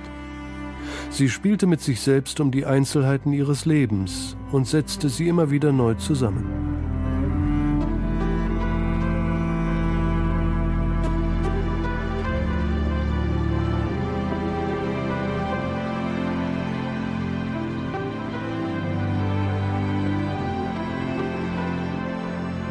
Im Frühjahr 1954 überredete sie Hans-Werner Richter, eine Tagung der Gruppe 47 in Italien abzuhalten. Sie suchte dafür das Kap Circeo, etwa 100 Kilometer südlich von Rom aus. Das war durchaus ein Coup von ihr, denn dieser Ort schien ihr vollkommen zu entsprechen. Hier bezirzt die magische Figur Circe aus Homers Odyssee die Seefahrer durch ihre betörende Ausstrahlung. Ihre Verführungskünste sind berüchtigt. Wenn ihre Opfer ihr erlegen sind, werden sie allerdings in Schweine verwandelt. Man kann das Kap Circeo durchaus als eine irritierende Selbstinszenierung des Gruppe 47-Mitglieds Ingeborg Bachmann begreifen. Ein ironisches Spiel damit, dass sie für etliche männliche Mitglieder der Gruppe längst schon eine Art Circe-Phantasmagorie darstellte.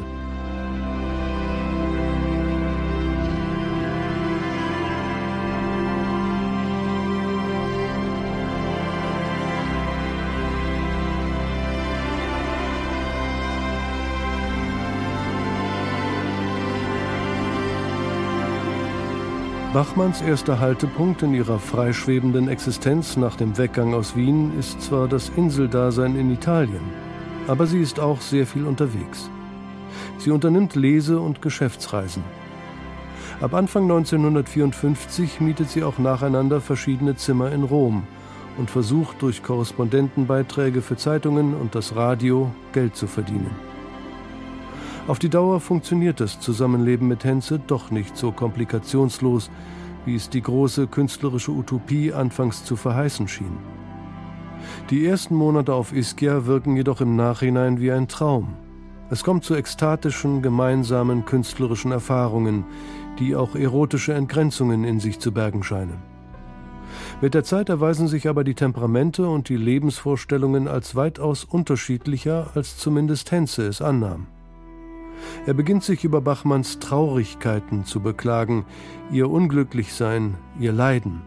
Und er möchte sich gegen Bachmanns depressive Zustände durch unentwegte künstlerische Produktion immunisieren.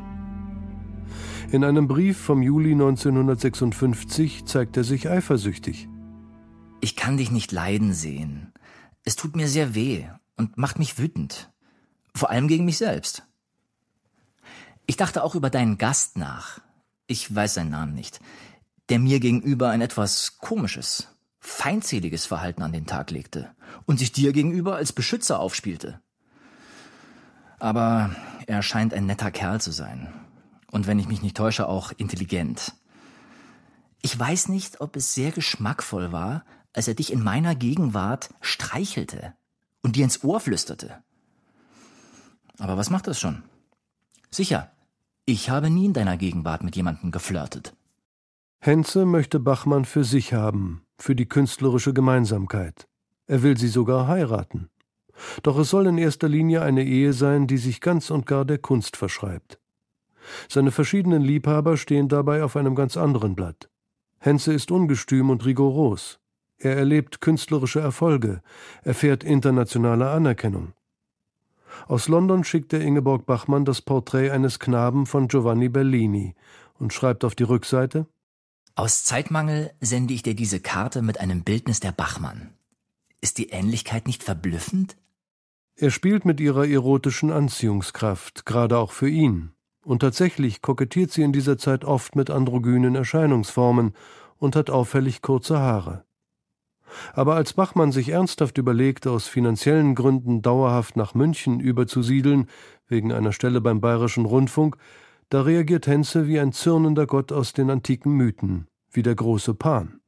Du bist nicht gemacht für den Wartesaal zweiter Klasse im Bayerischen Rundfunk, umgeben von scheißintellektuellen Cretins und nicht für das Café Luitpold. Du musst auf steinigen Pfaden, aufgezäumt auf Maulesel, schwing die Peitsche zwischen den eisigen Blicken von Eidechsen und Kräutersammlern gegen den Morgenstern zu. So musst du auf das Unvermutete zureiten. Henze vertont Bachmanns Lieder von einer Insel, und Bachmann schreibt für seine Ballettpantomime Der Idiot nach Dostojewski den Monolog des Fürsten Mischkin, der auch den Schlusspunkt ihres Gedichtbands Die gestundete Zeit setzt. Sie verfasst für ihn das Libretto zu einer Oper nach Heinrich von Kleists Drama Prinz Friedrich von Homburg. Und Henze bestürmt sie ständig mit neuen Ideen zu Opernlibretti. Wenn er die absolute Vorrangstellung der Kunst einfordert, verlangt er von Bachmann auch, sich nicht nur der Kunst, sondern auch seinen Vorstellungen davon unterzuordnen. Zum Beispiel auch das Libretto, der junge Lord. Du kannst dir nicht vorstellen, wie schwer es war, dieses Libretto aus ihr herauszu, mit äh, fürchterlichsten repressiven Methoden musste ich arbeiten. Äh, nicht mehr grüßen oder einschließen oder äh, äh wütend sein oder äh, was weiß ich, oder mit Geschenken überhäufen, was, nur um, um eine, einen kleinen Dialog zu kriegen. Gut, es ist ein, ein, ein, ein, wirklich ein sehr schönes Libretto geworden, das ist klar. Sehr schön, aber wie schwer ist es doch gewesen, das herauszukriegen. Es hat sehr lange gedauert. Ich schrieb schon dauernd und dann musste ich sie immer wieder zwingen. Und dann versprach sie, bis morgen diese drei Zeilen zu machen. Nichts. Eine Woche musste ich warten. In seiner künstlerischen Absolutheit agierte Henze durchaus wie ein fordernder Mann, und vermutlich unterschied er sich dabei gar nicht so sehr von den vertrauten Rollenbildern. Der Übersetzer Mosche Kahn, der Bachmann und Henze sehr gut kannte, weiß darum. Also er war da nicht herrisch in dem äh, Sinn, dass er bestimmt hätte, so jetzt wird das so und so gemacht. Nein, in der Form war das nicht. Aber ich glaube, wir wussten alle, dass wenn er eine Feststellung traf, dass wir die nicht in Frage stellen konnten.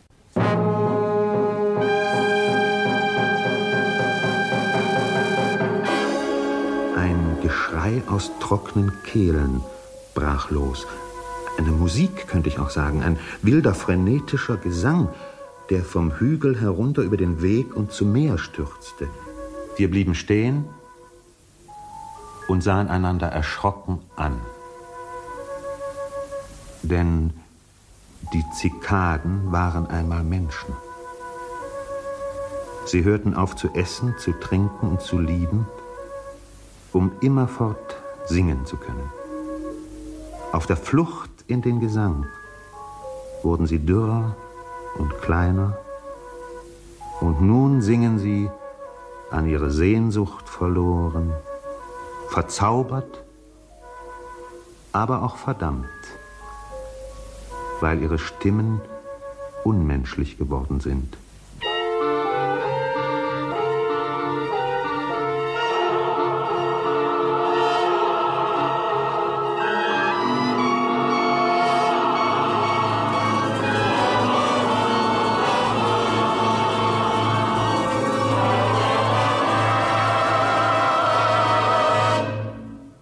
Auffällig ist, bereits in ihrem Hörspiel Die Zikaden umkreist Bachmann die Kehrseite der absoluten, zurückgezogenen künstlerischen Existenz, die Isolation. Sie fährt immer öfter weg aus Italien. Die Beziehung zu Henze klärt sich, und in einem Briefentwurf an ihn spricht sie im Frühjahr 1957 von etwas völlig Neuem. Etwas sagt mir, dass du mich verstehen wirst, diese ungewöhnliche Entscheidung die mich, ich weiß nicht, wie viele Kilometer von hier wegführt. Es sind viele, viele, und es ist das andere Ende der Welt. Es ist nicht nur Leidenschaft, die mich zu dieser Entscheidung treibt, sondern viel mehr.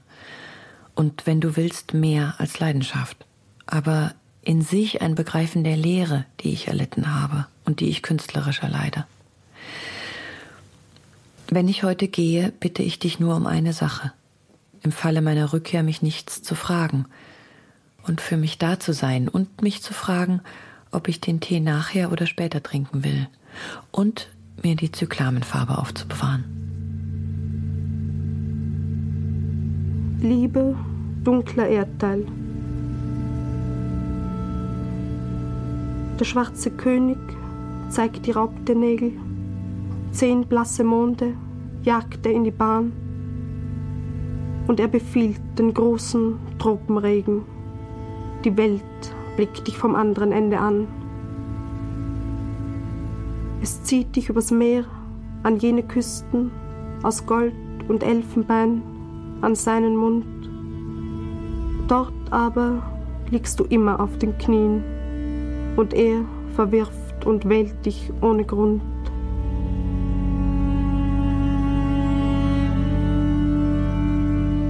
Ich liebe dich noch aber ich werde das immer tun.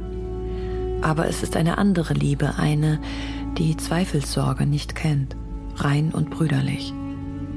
Und da gibt es etwas anderes, das zerstört und zerstörerisch ist, alles oder nichts in sich dazu angetan, mich einmal wissen zu lassen, was ich wert bin und was ich nicht wert bin.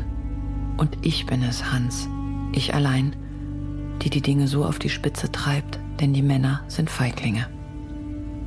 Es ist merkwürdig, dass ich vor kurzem etwas über diesen dunklen Erdteil geschrieben habe und nun gehe ich wirklich dorthin und ich fühle diesen alten, starken Mut.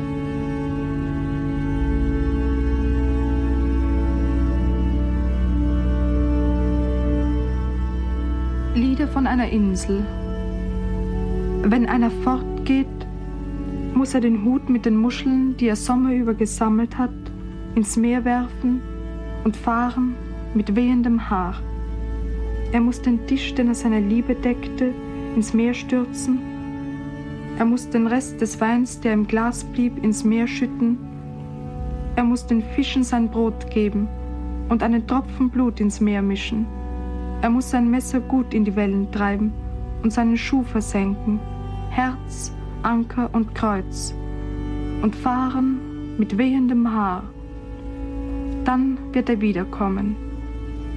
Wann? Frag nicht.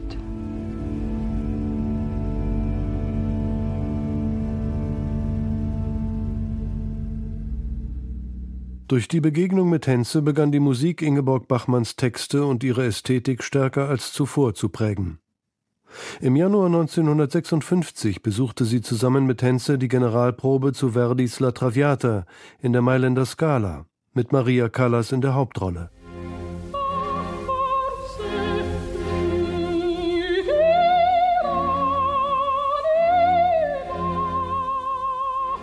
Die Begegnung mit dieser Jahrhundertmusikerin hinterließ bei Bachmann vielfältige Spuren.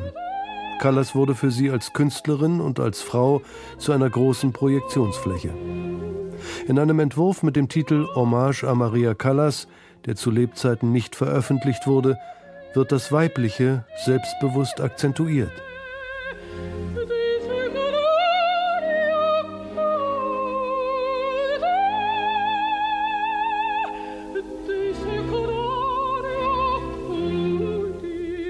Sie hat nicht Rollen gesungen, niemals, sondern auf der Rasierklinge gelebt.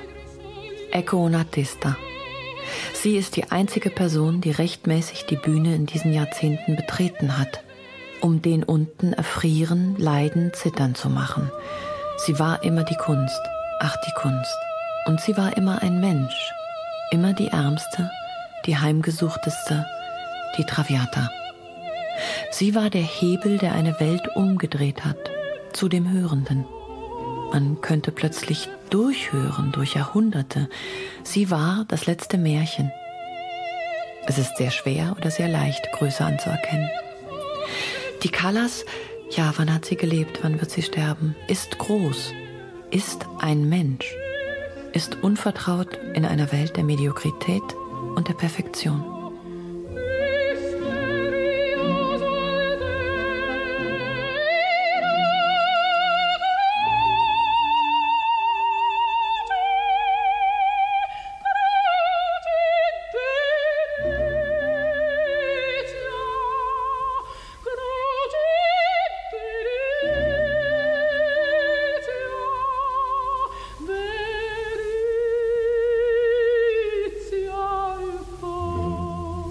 In einer Welt der Mediokrität.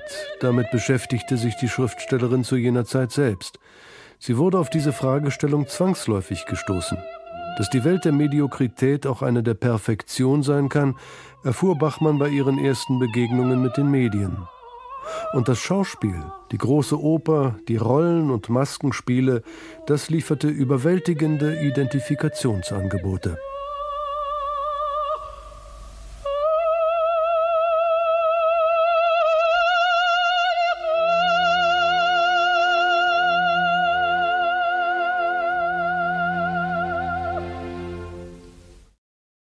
Ingeborg Bachmann hielt schon früh ihre verschiedenen Leben sorgsam voneinander getrennt. So fällt im gesamten Briefwechsel mit Hans-Werner Henze der Name Paul Celan kein einziges Mal. Was sie im Innersten umtrieb, schien völlig anderen Welten anzugehören, als das, was sie auf den vielen Reisen in dieser Zeit Mitte der 50er Jahre unternahm. Im Sommer 1955 hielt sie sich als Teilnehmerin eines internationalen Seminars der Harvard Summer School of Arts and Sciences and of Education in den USA auf.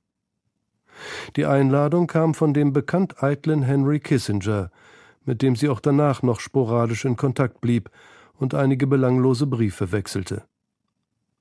Weitaus wichtiger jedoch war, dass sie hier den französischen Journalisten Pierre Evrard kennenlernte, mit dem sie eine ihrer geheimnisvollsten Liebesaffären verband. Sie überdauerte viele Jahre, verschwiegen und verheimlicht. Schon kurz nach dem USA-Aufenthalt fuhr sie nach Paris, um Evrard zu treffen, reiste aber früher als erwartet wieder ab, wegen der Weihnachtstrostlosigkeit, wie sie in einem Brief erklärte. Anfang 1956 fand sie sich in Rom in einer neuen Ungewissheit wieder, blieb von Februar bis August bei Henze in Neapel und wollte dann wieder nach Paris fahren, was durch eine längere Krankheit aufgeschoben wurde. Erst im Herbst war sie wieder dort. Sie wohnte in einem Hotel, das direkt an der Place de la Contrescarpe lag, der Gegend des Quartier Latin, in der sich Paul Celan oft aufhielt. Sie traf ihn jedoch nicht. Und auch die Beziehung mit Pierre Evrard war offenkundig nicht auf Dauer angelegt. Sie schrieb in diesen Tagen ein enigmatisches Gedicht mit dem Titel Hotel de la Paix. Hotel de la Paix.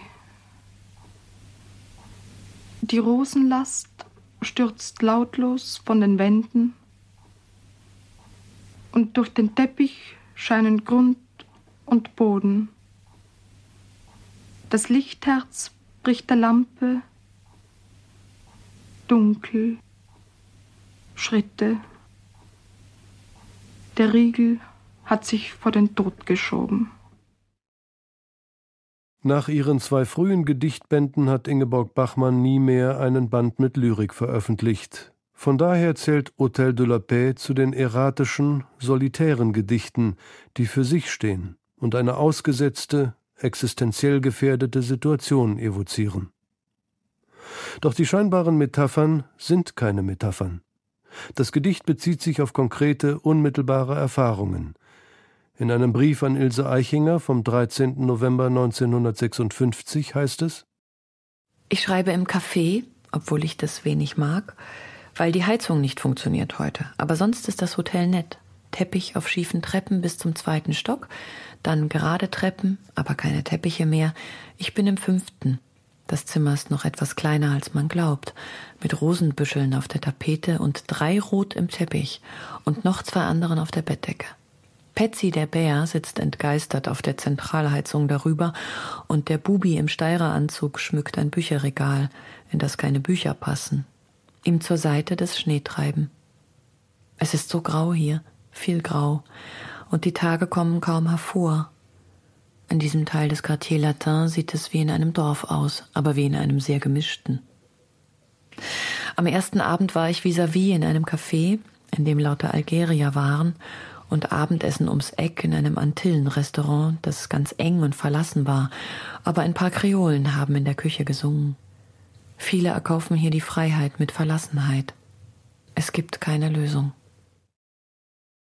Ingeborg Bachmann war 30 Jahre alt, ohne feste Bindung und trotz eines mittlerweile illustren Namens immer in finanziellen Nöten.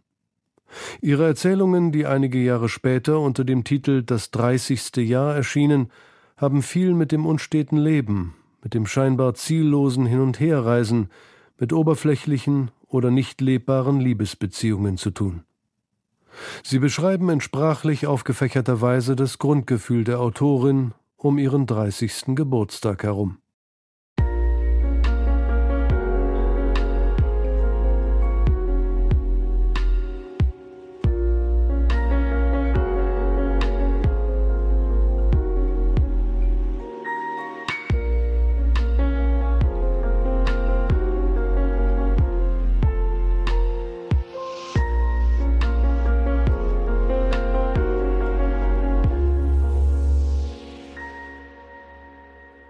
Ein Jahr später, im Oktober 1957, geschieht etwas völlig Unerwartetes.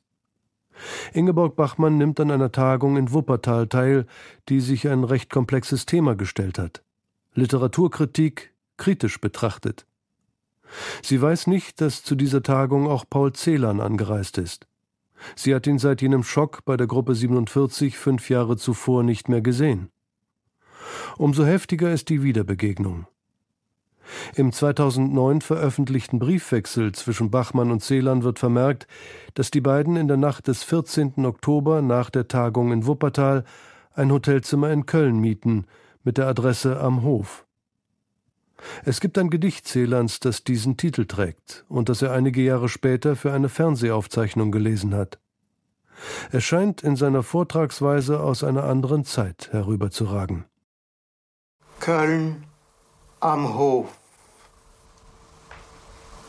Herzzeit, es stehen die Geträumten für die Mitternachtsziffer.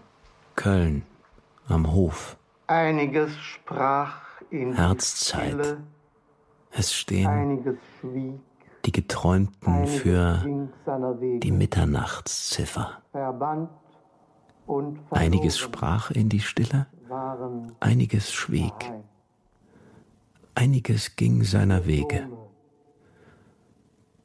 Verbannt und verloren waren daheim, ihr Dome, ihr Dome ungesehen, ihr Ströme unbelauscht, ihr Uhren tief in uns.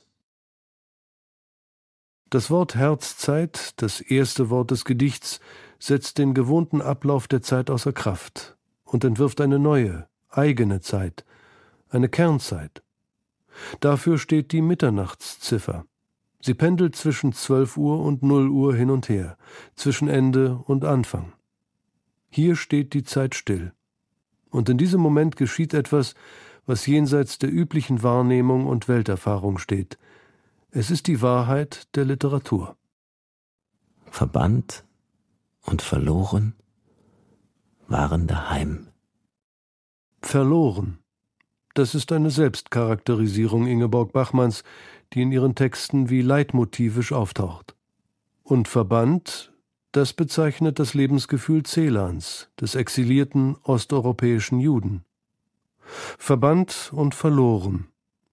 Es war die Vision, dass die beiden Dichter, die sich aus dämonischen Gründen, wie Ingeborg Bachmann einige Jahre zuvor erkannt hatte, gegenseitig ausschlossen, dass diese Solitäre doch zusammengedacht werden konnten. Das Gedicht Celans hat einen hymnischen Ton, es zeugt von einem Augenblicksglück. Das so unterschiedliche, aber doch auch gemeinsame Schicksal hatte zwei Versprengte zusammengeführt. Celan schickt Bachmann fast jeden Tag ein neues Gedicht sowie glühende Liebesbriefe nach München. Das Verhältnis der beiden scheint sich umzukehren. Jetzt ist es Celan, der Bachmann mit Liebesbekundungen überhäuft. Bachmann hingegen reagiert vorsichtig, ja überfordert. Paul, vor zehn Tagen ist dein erster Brief gekommen. Seither will ich jeden Tag antworten und versäume es über dem stundenlangen verzweifelten Sprechen mit dir. Welche Abkürzungen muss ich in dem Brief jetzt nehmen? Wirst du mich trotzdem verstehen? Ich bin dir dankbar, dass du deiner Frau alles gesagt hast, denn es ihr ersparen hieße doch schuldiger werden, auch sie verringern. Weil sie ist, wie sie ist und weil du sie liebst. Aber ahnst du, was ihre Hinnahme und ihr Verstehen für mich bedeuten? Und für dich? Du darfst sie und euer Kind nicht verlassen. Du hast mir gesagt, du seist auf immer versöhnt mit mir, das vergesse ich dir nie. Muss ich jetzt denken, dass ich dich wieder unglücklich mache? Wieder die Zerstörung bringe für sie und dich, dich und mich? Dass man so verdammt sein sollte, kann ich nicht begreifen. Ich habe nicht mehr gehofft, freigesprochen zu werden. Zu welchem Ende? Ingeborg. Celan ist vom 7. bis 9. Dezember 1957 in München, dann wieder am 28. und 29. Januar sowie am 7. Mai 1958. Aber kein Drehbuchschreiber hätte es effektvoller erfinden können. Am 19. November 1957 zieht die Familie Celan um in ihre erste eigene, unabhängig von Giselles Familie bewohnte Wohnung, eine Vierzimmer-Eigentumswohnung in der Rue de Longchamp mitten in der am heftigsten lodernden Phase der Beziehung Celans zu Ingeborg Bachmann. Sie aber weiß, dass ein Leben mit Celan im Alltag nicht möglich ist. Sie möchte das Ganze auf eine andere Ebene überführen und bahnt eine freundschaftliche Beziehung zu seiner Frau Giselle an, die auch nach Celans Tod 1970 noch weiter besteht. Bachmann reist, und es gibt mehrere Gründe dafür, nach Paris.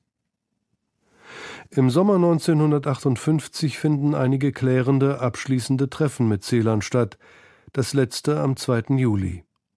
Und wenn sie davon an Hans-Werner Henze schreibt, fällt auf, wie schnell sich der Ton ändert. Ich fahre morgen hier weg, weil es nicht mehr geht, weil ich nicht mehr kann und weil die Arbeit auch derart unter allem leidet, dass es untragbar ist. Und ich könnte dir jetzt eigentlich mit diesem Brief sagen, dass ich komme, aber ich kann es nun doch wieder nicht, oder jedenfalls erst in etwa zwei Tagen, wenn sich etwas für mich sehr Wichtiges entschieden hat. Das sehr Wichtige, das sich für Ingeborg Bachmann hier entscheiden soll, nimmt am 3. Juli seinen Anfang. Am Tag zuvor haben Celan und sie ihre Liebesbeziehung endgültig ad acta gelegt. Am 3. Juli beginnt Bachmann eine Liaison mit Max Frisch. Er ist zur Aufführung zweier seiner Theaterstücke nach Paris gereist. Der Sprung vom 2. zum 3. Juli 1958 von den zermürbenden letzten Gesprächen mit ihrer unmöglichen Liebe Paul Celan zu dem durchaus berechnenden Hals über Kopf mit Max Frisch, dies gehört zu den großen Rätseln um Ingeborg Bachmann.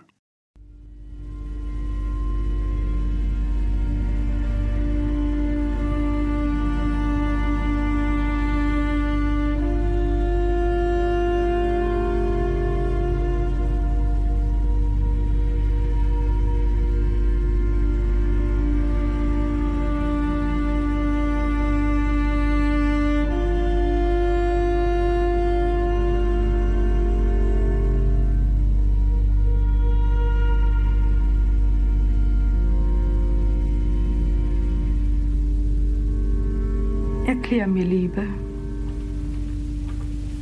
Dein Hut lüftet sich leis, grüßt, schwebt im Wind. Dein unbedeckter Kopf hat's Wolken angetan.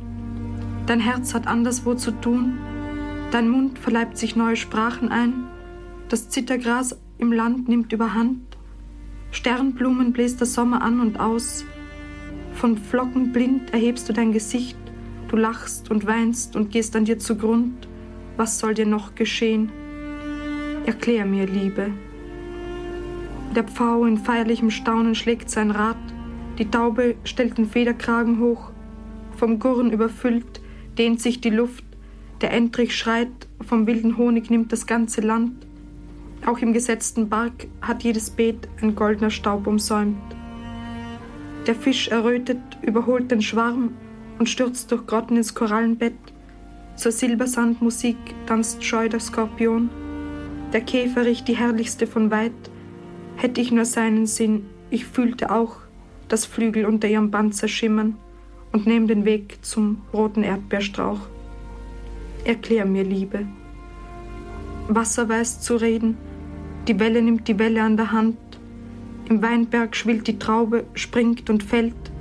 So arglos tritt die Schnecke aus dem Haus. Ein Stein weiß einen anderen zu erweichen. Erklär mir, Liebe, was ich nicht erklären kann. Sollte ich die kurze, schauerliche Zeit nur mit Gedanken Umgang haben und allein nichts Liebes kennen und nichts Liebes tun, muss einer denken, wird er nicht vermisst. Du sagst, es zählt ein anderer Geist auf ihn. Erklär mir nichts. Ich sehe den Salamander durch jedes Feuer gehen. Kein Schauer jagt ihn und es schmerzt ihn nichts.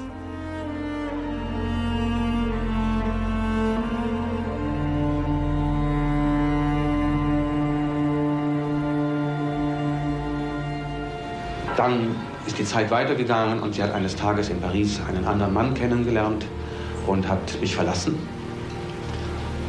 Äh, für etwas sehr viel Konkreteres und Anstrengenderes als mich, Max Frisch.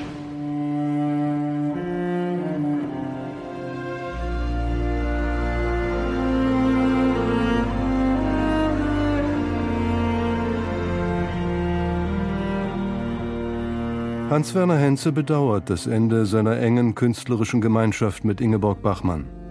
Und was da im Morgengrauen vom 3. auf den 4. Juli 1958 beginnt, zwischen blutigen Schlachterschürzen in den alten Markthallen in Paris, ist für die Lyrikerin eine erneute Achterbahnfahrt der Gefühle. Max Frisch hatte ihr vorher einen enthusiastischen Brief über ihr neues Hörspiel Der gute Gott von Manhattan geschrieben. Er ist ein Erfolgsautor und 15 Jahre älter. Und sie erscheint zur Pariser Premiere seines Stücks Biedermann und die Brandstifter. Dieser Termin war für sie bereits Wochen vorher ein Fixpunkt. Doch schon zwei Tage nach ihrer ersten Nacht in einem Pariser Hotel schreibt er an sie Was ist los? Ich warte und bange. Kein Zeichen. Du willst, dass wir verschwunden sind füreinander. Damit ist die Tonlage gesetzt, denn so geht es weiter, vier Jahre lang. Regelmäßig ist von Trennung die Rede. Sie steht schon nach der ersten Wiederbegegnung in Zürich im Raum. Aber Bachmann will diese Beziehung unbedingt. Sie empfindet es wohl als die letzte Möglichkeit, ein gemeinsames Leben mit einem Mann zu führen, und zwar mit einem erfolgreichen Mann, einem, der mitten im Leben steht und das Realitätsprinzip zu verkörpern scheint. Frisch zeigt sich gebannt von ihrem literarischen Selbstbewusstsein und ihrer für ihn ungewohnten Unabhängigkeit. Doch er merkt bald, welche Schwierigkeiten es für ihn mit sich bringt, mit ihr zusammen zu sein. Als sie beschließen, zusammenzuleben, schlägt er gleich einen charakteristischen Grundton an. Wir wären ein Unheil füreinander.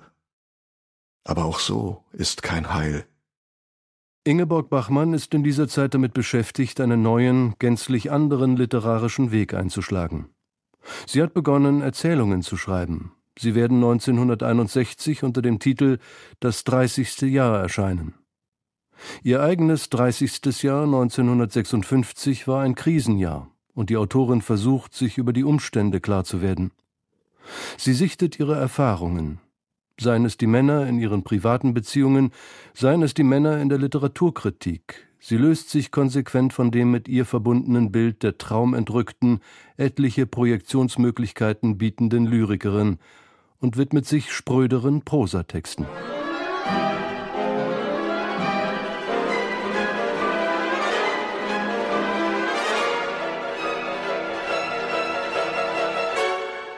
Mit den Erzählungen ihres ersten Prosabandes irritiert Ingeborg Bachmann.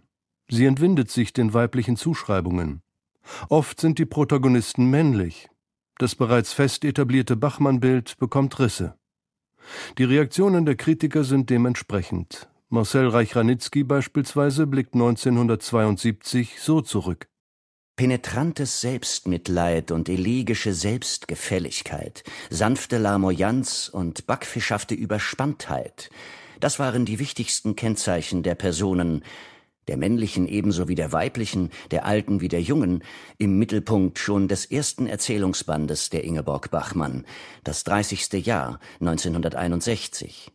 Mit anderen Worten, die Erzählerin Ingeborg Bachmann ist und bleibt eine gefallene Lyrikerin. Einen erheblichen Teil zu dieser Verwirrung trägt der Text Undine geht bei, der das Buch programmatisch beendet. Die Figur der Undine ruft etliche literarische Assoziationen auf. In der Antike gehörte sie zu den halbgöttlichen Elementargeistern, eine Wassernymphe, die bezaubernd singen kann.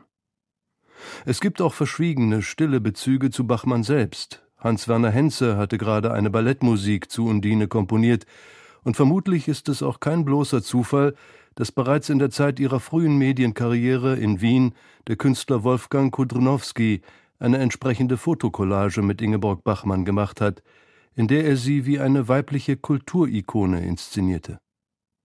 Aus der Donau tauchen neun verschiedene Gesichter der jungen Ingeborg Bachmann auf, neben einem romantischen Ruderboot und vor dem Hintergrund der Uferböschungen und einer modernen Brücke, mal lächelnd, mal nachdenklich, mal selbstbewusst. Eine Wassernixe. In der mythischen Überlieferung bringt Undine dem Gatten, der ihr untreu wird, den Tod. Ihr Menschen, ihr Ungeheuer, ihr Ungeheuer mit Namen Hans, mit diesem Namen, den ich nie vergessen kann, Immer wenn ich durch die Lichtung kam und die Zweige sich öffneten, wenn die Ruten mir das Wasser von den Armen schlugen, die Blätter mir die Tropfen von den Haaren leckten, traf ich auf einen, der Hans hieß. Undine blickt zurück. Es ist eine Abschiedsrede. Und dass die Menschen ungeheuer sind und banal und austauschbar Hans heißen, meint die Männer und die Gesellschaft im Allgemeinen. Die Männer haben die Macht, Sie stehen für das verführerische Lügen, für vorgetäuschtes Familienglück, für politische Verhängnisse. Doch es geht Bachmanns Undine in ihrem Monolog nicht einfach um eine Abrechnung mit Männern. Sie ist generell eine Erscheinung des anderen, der Kunst. Wenn Undine aus ihrem Zauberreich unter Wasser an Land geht, wenn die Vegetation ihr das Wasser von den Armen und die Tropfen von den Haaren entfernt, konfrontiert sie die konkrete Gesellschaft mit ihrem utopischen Potenzial. Wenn euch nichts mehr half, dann half die Schmähung. Dann wusstet ihr plötzlich, was euch an mir verdächtig war. Wasser und Schleier und was sich nicht festlegen lässt. Dann war ich plötzlich eine Gefahr, die ihr noch rechtzeitig erkanntet. Und verwünscht war ich. Und bereut war alles im Handumdrehen. Bereut habt ihr auf den Kirchenbänken vor euren Frauen, euren Kindern, eurer Öffentlichkeit. Vor euren großen, großen Instanzen wart ihr so tapfer, mich zu bereuen und all das zu befestigen, was in euch unsicher geworden war. Ihr wart in Sicherheit. Ihr habt die Altäre rasch aufgerichtet und mich zum Opfer gebracht. Hat mein Blut geschmeckt, hat es ein wenig nach dem Blut der Hindin geschmeckt und nach dem Blut des weißen Wals nach deren Sprachlosigkeit. Wohl euch, ihr werdet viel geliebt und es wird euch viel verziehen.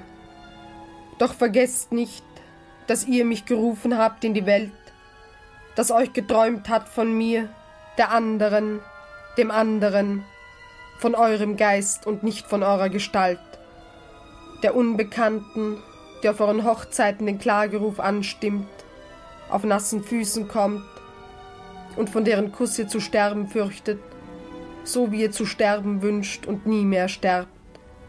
Ordnungslos, hingerissen und von höchster Vernunft. Die höchste Vernunft, verbunden mit einer nicht festzulegenden Sinnlichkeit, dafür steht Undine. Sie beklagt die Unmöglichkeit der Liebe unter den herrschenden Verhältnissen. Und sie benennt diese Verhältnisse einmal auch im Sinne dessen, was die Autorin seit Anfang der 50er Jahre ästhetisch umtreibt.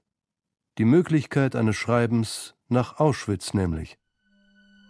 Mein Gedächtnis ist unmenschlich, an alles habe ich denken müssen, an jeden Verrat und jede Niedrigkeit. An denselben Orten habe ich euch wieder gesehen. Da schienen mir Schandorte zu sein, wo einmal helle Orte waren. Was habt ihr getan? Still war ich, kein Wort habe ich gesagt. Ihr sollt es euch selber sagen. Eine Handvoll Wasser habe ich über die Orte gesprengt, damit sie grünen mögen wie Gräber, damit sie zuletzt hell bleiben mögen.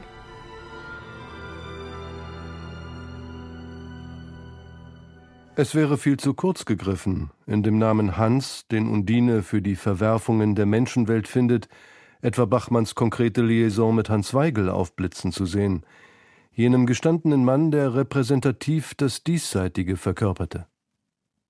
Vielleicht fällt der Name Hans, in dem sogar Hans Werner Henze mitschwingt, aber auch mit einem schmerzhaft ironischen Augenzwinkern. Bald kann Ingeborg Bachmann die ästhetische Distanz zu den eigenen biografischen Erfahrungen nicht mehr in dieser Form beibehalten. Ab März 1959 wohnt sie mit Max Frisch in einem Haus mit Seeblick bei Zürich. Ende April aber fährt sie bereits ein paar Tage an den Koma See, weil sie glaubt, dort besser arbeiten zu können als unter dem gemeinsamen Dach mit Frisch. Ihr damaliger Lektor Reinhard Baumgart erinnert sich. Sie hatte einfach keine handwerkliche Robustheit, mit der man ein ganzes Autorenleben durchhält und dann Autor als Beruf leisten kann. Und dann lebte sie ja jahrelang mit so einem wirklich, äh, ja, einem, einem Dichter-Profi wie Max Frisch zusammen. Und sie hat mir oft erzählt, was mich wahnsinnig macht, ist, er geht nach dem Frühstück rauf und schon höre ich nach kurzer Zeit seine Schreibmaschine klappern, das läuft und läuft und ich sitze da und brüte und es kommt und kommt nichts. Mit Paul Celan bleibt Ingeborg Bachmann weiter in Kontakt. Im Herbst 1958, nach wenigen Wochen in der gemeinsamen Wohnung mit Max Frisch, jährt sich die Wiederbegegnung mit Celan auf jener Wuppertaler Tagung. Und jetzt schreibt sie an Celan der vergangene Herbst drängt sich in diesen Herbst. Am 23. Dezember unterzeichnet sie einen Brief an Celan mit In Liebe Ingeborg. Sie weiß, dass ein Zusammenleben mit Celan unmöglich ist, aber sie wird sich ihrer literarischen Nähe zu ihm umso bewusster. Max Frisch entgeht das nicht. Im Herbst 2022 ist der umfangreiche Briefwechsel zwischen Bachmann und Frisch veröffentlicht worden. Auch darin ist Bachmanns Profil schwer zu erfassen. Ihr Agieren im Widersprüchlichen, ihr flirrendes und lockendes sich entziehen. Nach einigen gemeinsamen Monaten in Zürich erkrankt Frisch an Hepatitis und liegt lange im Krankenhaus. Bachmann indes fährt währenddessen mit Hans Magnus Enzensberger nach Italien, ein Umstand, der Frisch durchaus nicht kalt lässt. Im Juli 1959 schreibt Bachmann dann an Frisch Max, es ist so schwer zu erklären, aber ich habe nur ganz selten das Gefühl der Gleichberechtigung zwischen uns. Ich stehe von Anfang an etwas unter dir oder hinter dir. Du hast es bestimmt nicht gewollt, aber es bringt dich dazu, mit mir zu reden manchmal wie zu einer Schülerin, bald liebevoll, bald tadelnd. Ich bin aber, wenn ich nicht bei dir bin, auch erwachsen, einem Mann gewachsen und lasse mir, wie die Brechtmädchen sagen würden, nichts gefallen. Max Frisch ist eifersüchtig und registriert Bachmanns Eskapaden, aber er ist auf sie auch als Schriftsteller eifersüchtig. Frisch inszeniert sich im Vergleich zu Bachmann und Celan als durchschnittlich. Die beiden Lyriker hingegen seien Auserlesene, und er benennt seine Angst, bloße Unterhaltungsliteratur zu schreiben privat engagierte, visionslose, in den Mitteln redliche und in letzter Zeit sogar meisterliche, in ihrer Visionslosigkeit stets auf irgendeine moralische Rückversicherung gestützte Schriftstellerei, die reichlichst zu Ehren kam. Max Frisch zeigt sich von Bachmanns Intellektualität, aber auch von ihrer weiblichen Sphinxhaftigkeit fasziniert und elaboriert regelmäßig an den Unterschieden zwischen ihnen, die für Außenstehende unverkennbar sind. Hier der glänzende Romankonstrukteur Frisch, der mit seinem enorm wirkungsvollen Homo Faber soeben auch eine ideale Vorlage für Literaturdidaktiker geliefert hat. Und da die lyrische Diva, die den hymnischen wie elegischen hohen Ton Hölderlins gegen ihre unmittelbare Gegenwart richtet. Die Korrespondenz der beiden lässt erkennen, welche Schwierigkeiten das auch im Alltagsleben mit sich bringt. Bachmanns Schillern zwischen Literatur und Leben ist für Frisch eine nicht zu bewältigende Herausforderung. Einmal imaginiert er sich Bachmann in der dritten Person. Sie liebt mich nicht so wenig wie einen anderen, sondern sie liebt die Liebe und sich selbst als Liebende. Max Frisch ist ein genauer, theatergeschulter Beobachter und scharfsinniger Menschenskizzierer, und er scheint hier bei Bachmann einen wunden Punkt zu treffen. Die Krankenhausaufenthalte Bachmanns zwischen Dezember 1962 und Februar 1963 bilden das Zentrum späterer Bachmann-Mythen. Sie liegen in der Zeit der Trennung von Max Frisch. Es gab, das lässt sich durch die Edition des Briefwechsels mit Frisch erschließen, weder einen Selbstmordversuch Bachmanns noch eine Abtreibung. Dies waren nachträgliche literarische Imaginationen von ihr. Bachmann hat sich seit langem als unbedingt unabhängige Schriftstellerin durchgeschlagen, und die Krise, die jetzt bei ihr ausbricht, im Alter von Mitte 30, verweist auf etwas Existenzielles und geht über die gescheiterte Beziehung zu Max Frisch hinaus. Elfriede Jelinek charakterisierte Max Frisch einmal als unheilbar gesund. Frischs konkrete Person war vermutlich gar nicht so entscheidend für das Trauma, das die Trennung bei Bachmann auslöste. In erster Linie wurde sie sich ihrer grundlegenden Aporien bewusst. Es ist erschreckend zu verfolgen, wie sich Bachmanns psychischer Zusammenbruch des Jahres 1963 im Einzelnen zeigt. Die Veröffentlichung von Max Frischs Roman Mein Name sei Gantenbein, in dessen Figur Lila Bachmann zu erkennen ist, hat sie selbst noch begleitet und gut geheißen. Aber kurz darauf schreibt sie schon, von Frisch in seinem Roman missbraucht worden zu sein. Eine gewisse Rolle bei Bachmanns Dämonisierung des geliebten Max Frisch spielt danach auch ein fragwürdiger Psychotherapeut. Ihre Beziehung überforderte beide, auch Max Frisch. Du trittst in mein Leben, Ingeborg, wie ein lang gefürchteter Engel, der fragt Ja oder Nein.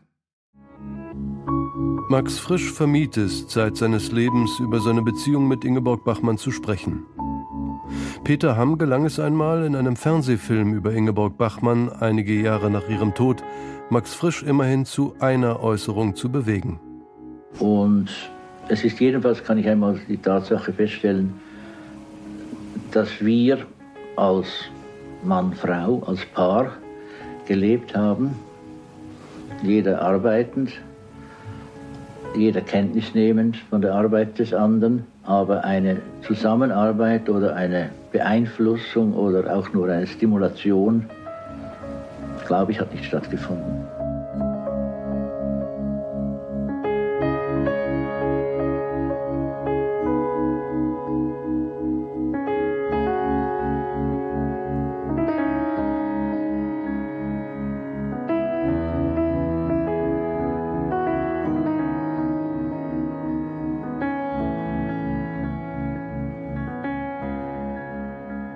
Anfang 1963, als die Trennung von Frisch feststeht und Ingeborg Bachmann völlig hilflos ist, wendet sie sich in ihrer Not an Hans-Werner Henze.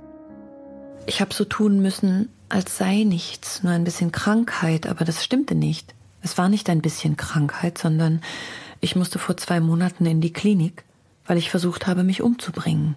Aber das werde ich nie wieder tun. Das war eine Verrücktheit und ich schwöre dir, dass ich das nie wieder tun werde. Du denkst vielleicht, es sei meine Schuld, dieses Ende. Aber das stimmt nicht. Wenn man überhaupt von Schuld sprechen will, dann ist es die Schuld von Max. Sonst wäre es mit mir nicht so weit gekommen. Tatsache ist, dass ich tödlich verletzt bin und dass diese Trennung die größte Niederlage meines Lebens bedeutet. Ich kann mir nichts Schrecklicheres vorstellen als das, was ich durchgemacht habe und was mich bis heute verfolgt. Auch wenn ich heute anfange, mir zu sagen, dass ich weitermachen muss, dass ich an eine Zukunft denken muss, an ein neues Leben. Strömung. so weit im Leben und so nah am Tod, dass ich mit niemand darum rechten kann, reiß ich mir von der Erde meinen Teil. Dem stillen Ozean stoß ich den grünen Keil mitten ins Herz und schwemm mich selber an. Zinnvögel steigen auf und Zimtgeruch. Mit meinem Mörderzeit bin ich allein. In Rausch und Bläue puppen wir uns ein. Henze kommt sofort zu ihr nach Zürich und holt sie ab, fährt mit ihr nach Italien. Es war der Keim gelegt zu Bachmanns großem Todesartenprojekt, an dem sie von nun an arbeitet und von dem nur der Roman Malina als abgeschlossener Text existiert. Am Anfang des neuen Themenfeldes stand die Büchner-Preisrede, die sie 1964 hielt, mit dem Titel Ein Ort für Zufälle. Bachmann hatte durch die Vermittlung Westberliner Freunde ein Stipendium der Ford Foundation bekommen. Ihre literarisch genau durchgearbeitete Dankesrede nimmt Berlin, den Ort ihres schwierigen, vorübergehenden Exils, und ihre eigene psychische Situation zum Ausgangspunkt. Das Motto der Buchausgabe dieser Rede in den legendären schwarzen Quartheften des soeben gegründeten Verlags Klaus Wagenbach zielt mitten ins Zentrum und stammt aus Büchners Lenz. Er jagte mit rasender Schnelligkeit sein Leben durch und dann sagte er konsequent, konsequent. Wenn jemand was sprach, inkonsequent, inkonsequent. Es war die Kluft unrettbaren Wahnsinns.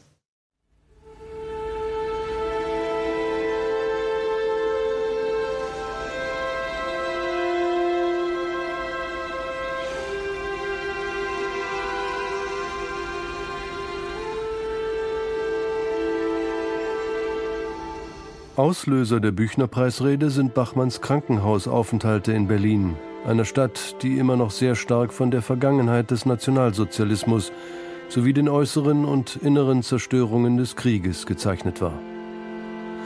Ein Riss ging durch diese Stadt. Sie war geteilt zwischen Ost und West. Und Bachmann bezieht dies auf ihren eigenen Körper, auf ihre Zerrissenheiten. Der Titel ihrer Rede, Ein Ort für Zufälle, greift das auf und bezieht sich auf das merkwürdige Wort, mit dem Büchner die Lenzsche Krankheit behaftet, wie Bachmann sagt. Die Warnzustände der Lenzfigur heißen hier Zufälle. Für die Autorin werden derlei Zufälle zum Grundmotiv. Die berühmte Büchnersche Wendung auf dem Kopf zu gehen wird für Ingeborg Bachmann zur Definition literarischer Erkenntnis.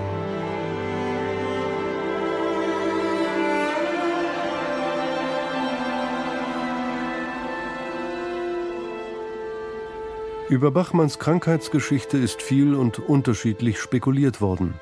Manifest wird sie im Sommer 1962, als Bachmann eröffnet wird, sie müsse sich ihre Gebärmutter entfernen lassen.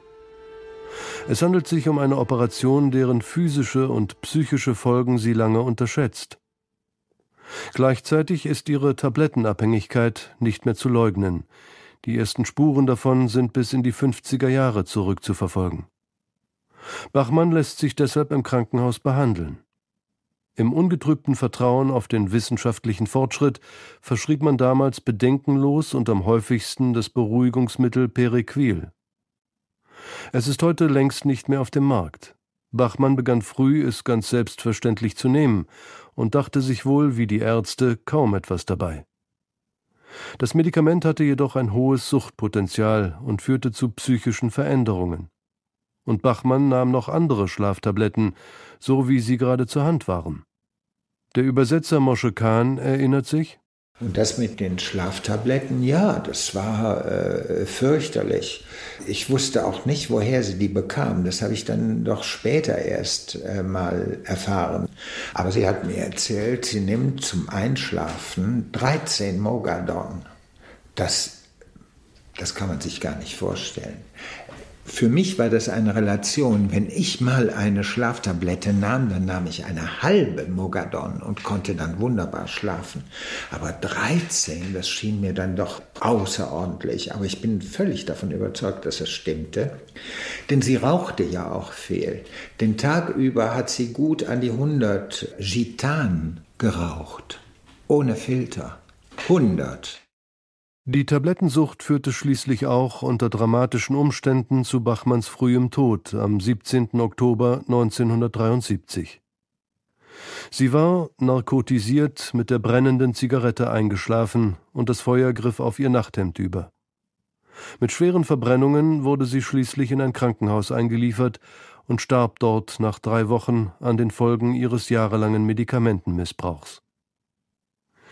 Inzwischen werden Bachmanns Schreiben und ihre Lebensvorstellungen unter Hinweis auf ihre Krankheiten und psychischen Labilitäten gelegentlich pathologisiert. Und in diesem Zusammenhang werden auch ihre wechselnden Beziehungen zu Männern angeführt.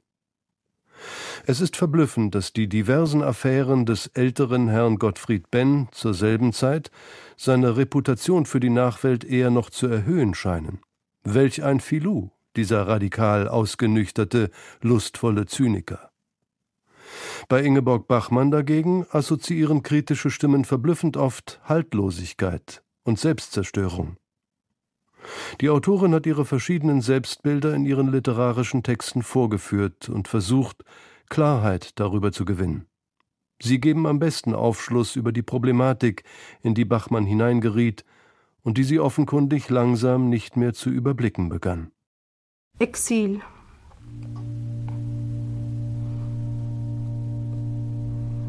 Ein Toter bin ich, der wandelt, gemeldet nirgends mehr, unbekannt im Reich des Perfekten, überzählig in den goldenen Städten und im grünenden Land, abgetan lange schon und mit nichts bedacht, nur mit Wind, mit Zeit und mit Klang der ich unter Menschen nicht leben kann. Nach dem Stipendium in Berlin zog es Ingeborg Bachmann wieder nach Rom, dem ihr am ehesten gemäßen Ort. Dort begann sie ihr Großprojekt mit dem Titel Todesarten zu entwickeln. Dabei entstand ein anspielungsreiches Netz von Figuren und Motiven, das die verschiedensten sprachlichen Formen aufnahm. Perspektivwechsel, das unmerkliche Hinübergleiten zwischen der ersten und der dritten Person, das Hin- und Herschalten zwischen mehreren Zeitschichten. Nach langen Anläufen mit Tausenden von Manuskriptseiten ging daraus erst in einem letzten Arbeitsgang der Roman Malina hervor. Als Fragmente, wenn auch mit langen, in sich geschlossenen Prosapassagen, hinterließ sie daneben die Romanvorhaben Das Buch Franza und das Buch Goldmann. Die Todesarten, die Bachmann auffächert, gehen weit über das Mann-Frau-Verhältnis hinaus. Die Texte sprechen von Krankheit, von gesellschaftlichen Zurichtungen und Verbrechen, die zeitgenössisch sind und anders wahrzunehmen als die zurückliegenden Verbrechen der Nationalsozialisten. Es ist ein so großer Irrtum zu glauben, dass man nur in einem Krieg ermordet wird oder nur in einem Konzentrationslager. Man wird mitten im Frieden ermordet. Es ist unverkennbar, dass die Art und Weise, wie die Beziehung zu Max Frisch verlief und endete, der Auslöser für die neuen Schreibbewegungen Ingeborg Bachmanns wurde. In seinem Roman Mein Name sei Gantenbein, veröffentlicht 1964, hatte Frisch in zum Teil sehr konkreten Details sein Zusammenleben mit ihr beschrieben. Für Eingeweihte war das unschwer zu erkennen. Diese literarische Verwertung intimen Erlebens empfand Bachmann mittlerweile als tiefgehende Verletzung. Im Fanny Goldmann Fragment gibt es einen Handlungsstrang, in dem ein junger Schriftsteller seine Affäre mit der berühmten Schauspielerin Fanny Goldmann für Karrierezwecke einsetzt. Er hatte sie ausgeweidet, hatte aus ihr Blutwurst und Braten und alles gemacht. Er hatte sie geschlachtet, Sie war geschlachtet auf 386 Seiten in einem Buch. In einer späteren Taschenbuchausgabe kam der in der ersten Auflage 495 Seiten zählende Gantenbein-Roman tatsächlich auf 386 Seiten. Aber das konnte die Autorin damals noch nicht ahnen. Die Ich-Figur der Schriftstellerin in Malina ist deutlich von derlei Medien und Schlachterlebnissen gezeichnet. Doch sie werden nie direkt eins zu eins aus dem Leben der Autorin Ingeborg Bachmann übersetzt, eher im Gegenteil. Sie brauchte lange, bis sie zur Romankonstruktion von Malina vordrang. Es ist ein aufwendiges ästhetisches Verdichtungsverfahren, das ursprüngliche Muster in neue Zusammenhänge überführt und alle autobiografischen Spuren unkenntlich zu machen versucht. Der Roman Malina erschien nach langen Jahren ohne eine Buchveröffentlichung der Autorin mit dem größtmöglichen öffentlichen Wirbel schließlich 1971. Im Mittelpunkt steht eine weibliche Ich-Figur. Sie hat ein Liebesverhältnis zu Ivan, der in der Nähe wohnt. Aber es gibt noch einen anderen Mann, mit dem sie auf vertrackte Weise zusammenlebt. Er heißt Malina und ist eine Art männliche Abspaltung des weiblichen Ich, also eine andere Möglichkeit dieser Ich-Figur, die männlich und rational ist. Zum Schluss bleibt nur Malina in der gemeinsamen Wohnung zurück. Die weibliche Figur verschwindet auf geheimnisvolle Weise in der Wand und hinterlässt als letzten Satz des Romans eine Erklärung, die in den nächsten Jahren eine Schlüsselrolle in der feministischen Rezeption des Romans spielen wird. Es war Mord. Dieses Changieren zwischen dem weiblichen Ich und der männlichen Maliner Figur ist sehr charakteristisch. Dass Ingeborg Bachmann schon früh männliche Protagonisten wählte, auch bereits in ersten Jugenderzählungen, ist eines der herausstechenden Merkmale der Schriftstellerin. Dafür gibt es die verblüffendsten Zeugnisse. Als ihr viel älterer Geliebter Hans Weigel sich 1948 für einige Monate in New York aufhielt, schrieb sie ihm in jugendlich keckem Tonfall Ich krieg schon wieder Nachlassangst. Irgend so ein windiger, wichtigtuerischer Dissertant schreibt dann Um das 40. Lebensjahr erlahmte die schöpferische Kraft des Dichters zusehends. Heute sind wir imstande, die Wurzel dieser unwiederbringlich verlorenen Jahre zu finden. Ein 22-jähriges, völlig amoralisches, minderwertiges Geschöpf, deren unerquickliche, schamlose Affären aus dem Briefwechsel Mai bis August 1948 hervorgehen, dessen Herausgabe vom zuständigen Minister untersagt wurde, deren Inhalt aber dem Biografen zugänglich gemacht wurde, zog den in seiner vollen Schaffenskraft Stehenden in seine Fänge in einen wahren Abgrund. Weiter mag ich gar nicht denken. Ach und wehe über uns. Die 22-jährige Ingeborg Bachmann fühlt sich zu diesem Zeitpunkt längst selbst als Schriftstellerin, verschiebt das Interesse der Nachwelt in ihrer Vorstellung aber auf den Mann. Und als sie schon längst als freie Schriftstellerin lebt, im Oktober 1959, schreibt sie an ihre Eltern, dass sie sich, was ihren Beruf angehe, mehr zu den Männern zähle. So wie sie zu leben versucht, kann es eigentlich nur ein Mann tun. An dieser Erkenntnis arbeitet sie sich zeitlebens ab. In einem ihrer Interviews im Umfeld des Erscheinens von Malina spricht sie das Phänomen ihrer männlichen Protagonisten an. Das ist eine der ältesten, wenn auch nur also halb verschütteten Erinnerungen, dass ich immer gewusst habe, ich werde dieses eine Buch schreiben.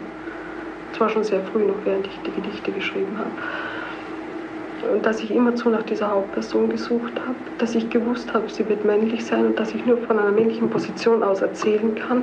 Aber ich habe mich immer wieder gefragt, warum eigentlich? Ich habe es nicht verstanden, auch in Erzählungen nicht. Es ist für mich wie das Finden meiner Person, nämlich dieses Ich, das weibliche Ich, nicht zu verleugnen und trotzdem das männliche zu finden, auf dessen Suche ich ja ununterbrochen war. Es muss auch für mich gar nicht so sein, dass ein Leser sofort versteht, wie diese, was Malina und ich sind, dass sie im Grunde genommen eine Person sind. Selbst wenn er es anders liest oder lange nicht dahinter kommt oder erst am Ende dahinter kommt. Das würde mir nichts ausmachen. Man muss überhaupt ein Buch auf verschiedene Arten lesen können. Und außerdem ist heute anders lesen als morgen. Im Laufe des Romans werden die Herrschaftsmechanismen der Gesellschaft durchdekliniert, denen die Frau zum Opfer fällt. Die Macht der Ökonomie, der Politik, der Religion, der Medien und die des Mannes. Vor allem in den langen Traumsequenzen des Mittelteils steht die große symbolische Figur des Vaters für die gesellschaftlichen Unterdrückungsmechanismen an sich. Die erste feministische Lektüre in den 1970er Jahren nahm dies zum Anlass, zwei Axiome zu formulieren, die seitdem von den Vorstellungen über Ingeborg Bachmanns Biografie nicht mehr zu lösen sind. Da ist zum einen das Bild von Ingeborg Bachmanns Vater als überzeugtem Nazitäter und zum anderen, ausgehend von konkreten Horrorvisionen im Traumkapitel, die Vermutung, die Autorin sei in ihrer Kindheit von ihrem Vater sexuell missbraucht worden. Mittlerweile sind Ingeborg Bachmanns Traumnotate aus ihrer psychotherapeutischen Behandlung Mitte der 60er Jahre veröffentlicht worden, aus denen eindeutig hervorgeht, dass das Urbild der Vaterfigur im Maliner Roman Max Frisch war. Wo in den Traumprotokollen für den Psychotherapeuten der Klarname Max oder ein Herr F genannt wird, ist diese Figur in fast identischen Szenen in Malina zum Vater geworden. In einem Traumprotokoll Bachmanns vom 20. Februar 1966 für ihren Psychotherapeuten Helmut Schulze heißt es Herr F. hat mich ins Gefängnis gebracht. Ich bin nicht allzu überrascht, aber ich hoffe, dass man mich gut behandeln und mich schreiben lassen wird. Immerhin könnte ich dann das Buch fertig schreiben. Und in Malina heißt es Mein Vater hat mich ins Gefängnis gebracht. Ich bin nicht allzu überrascht, denn ich kenne ja seine guten Verbindungen. Zuerst hoffe ich, dass man mich gut behandeln und mich zumindest schreiben lassen wird. Immerhin habe ich hier Zeit und bin vor seinen Nachstellungen sicher. Am Ende des ästhetischen Prozesses ist aus der konkreten Person Max Frisch die Figur des Vaters geworden, als Symbol für die repressiven Mechanismen der Gesellschaft. Ingeborg Bachmann erklärte die Konstruktion des Maliner Romans, in dem das Albtraumkapitel, von den beiden anderen Kapiteln getrennt in der Mitte steht, einmal so. Die ganzen Geschichten, die ausgespart werden, weil das Ich über sich nichts erzählen darf, denn sein Doppelgänger verbietet es ihm ja.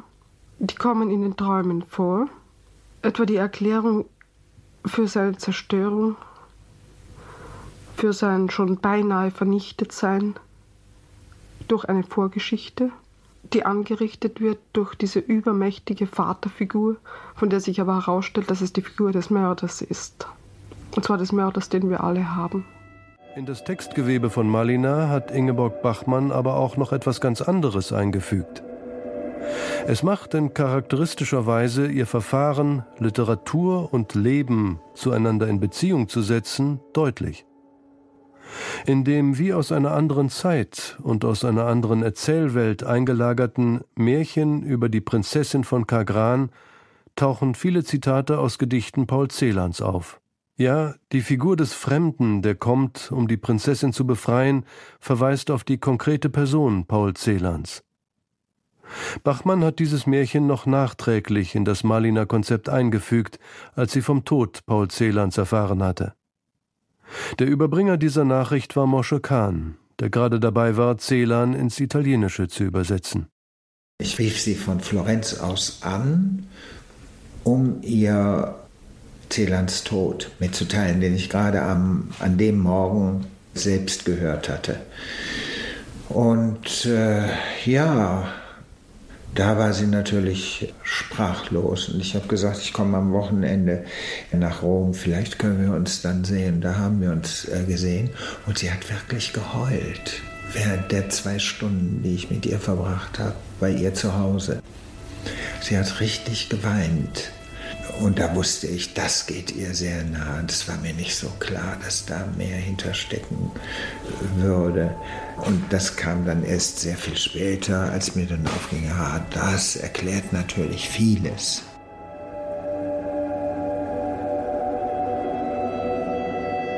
Die Celan-Zitate in Malina stammen vor allem aus dem Band Der Sand aus den Urnen, der 1948 in Wien erschienen war, kurz nach der unbeschwerten ersten Liebesphase zwischen den beiden.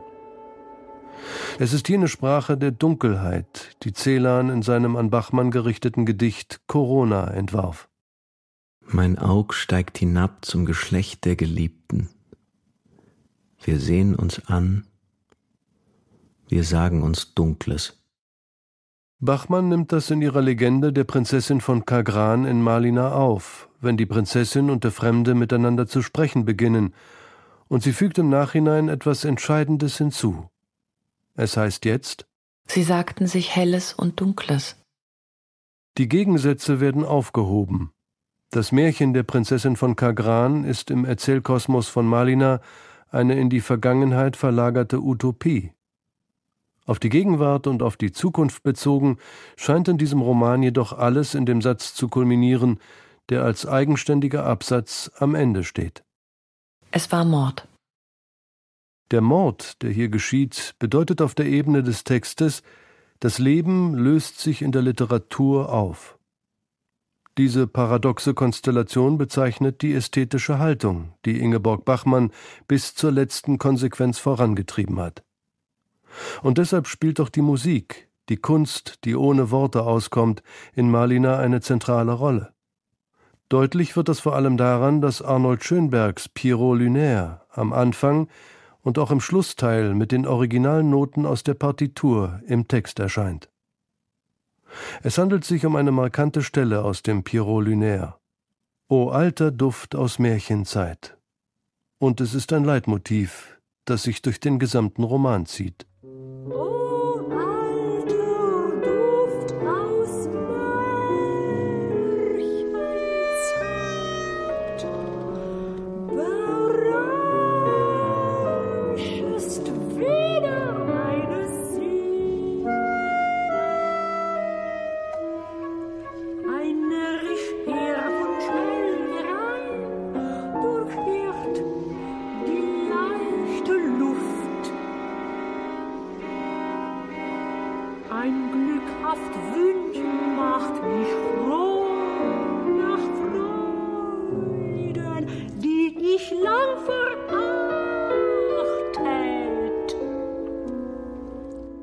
Das Märchen der Prinzessin von Kagran, das in Malina eingelagert ist, nimmt diese Melodie im Text auf.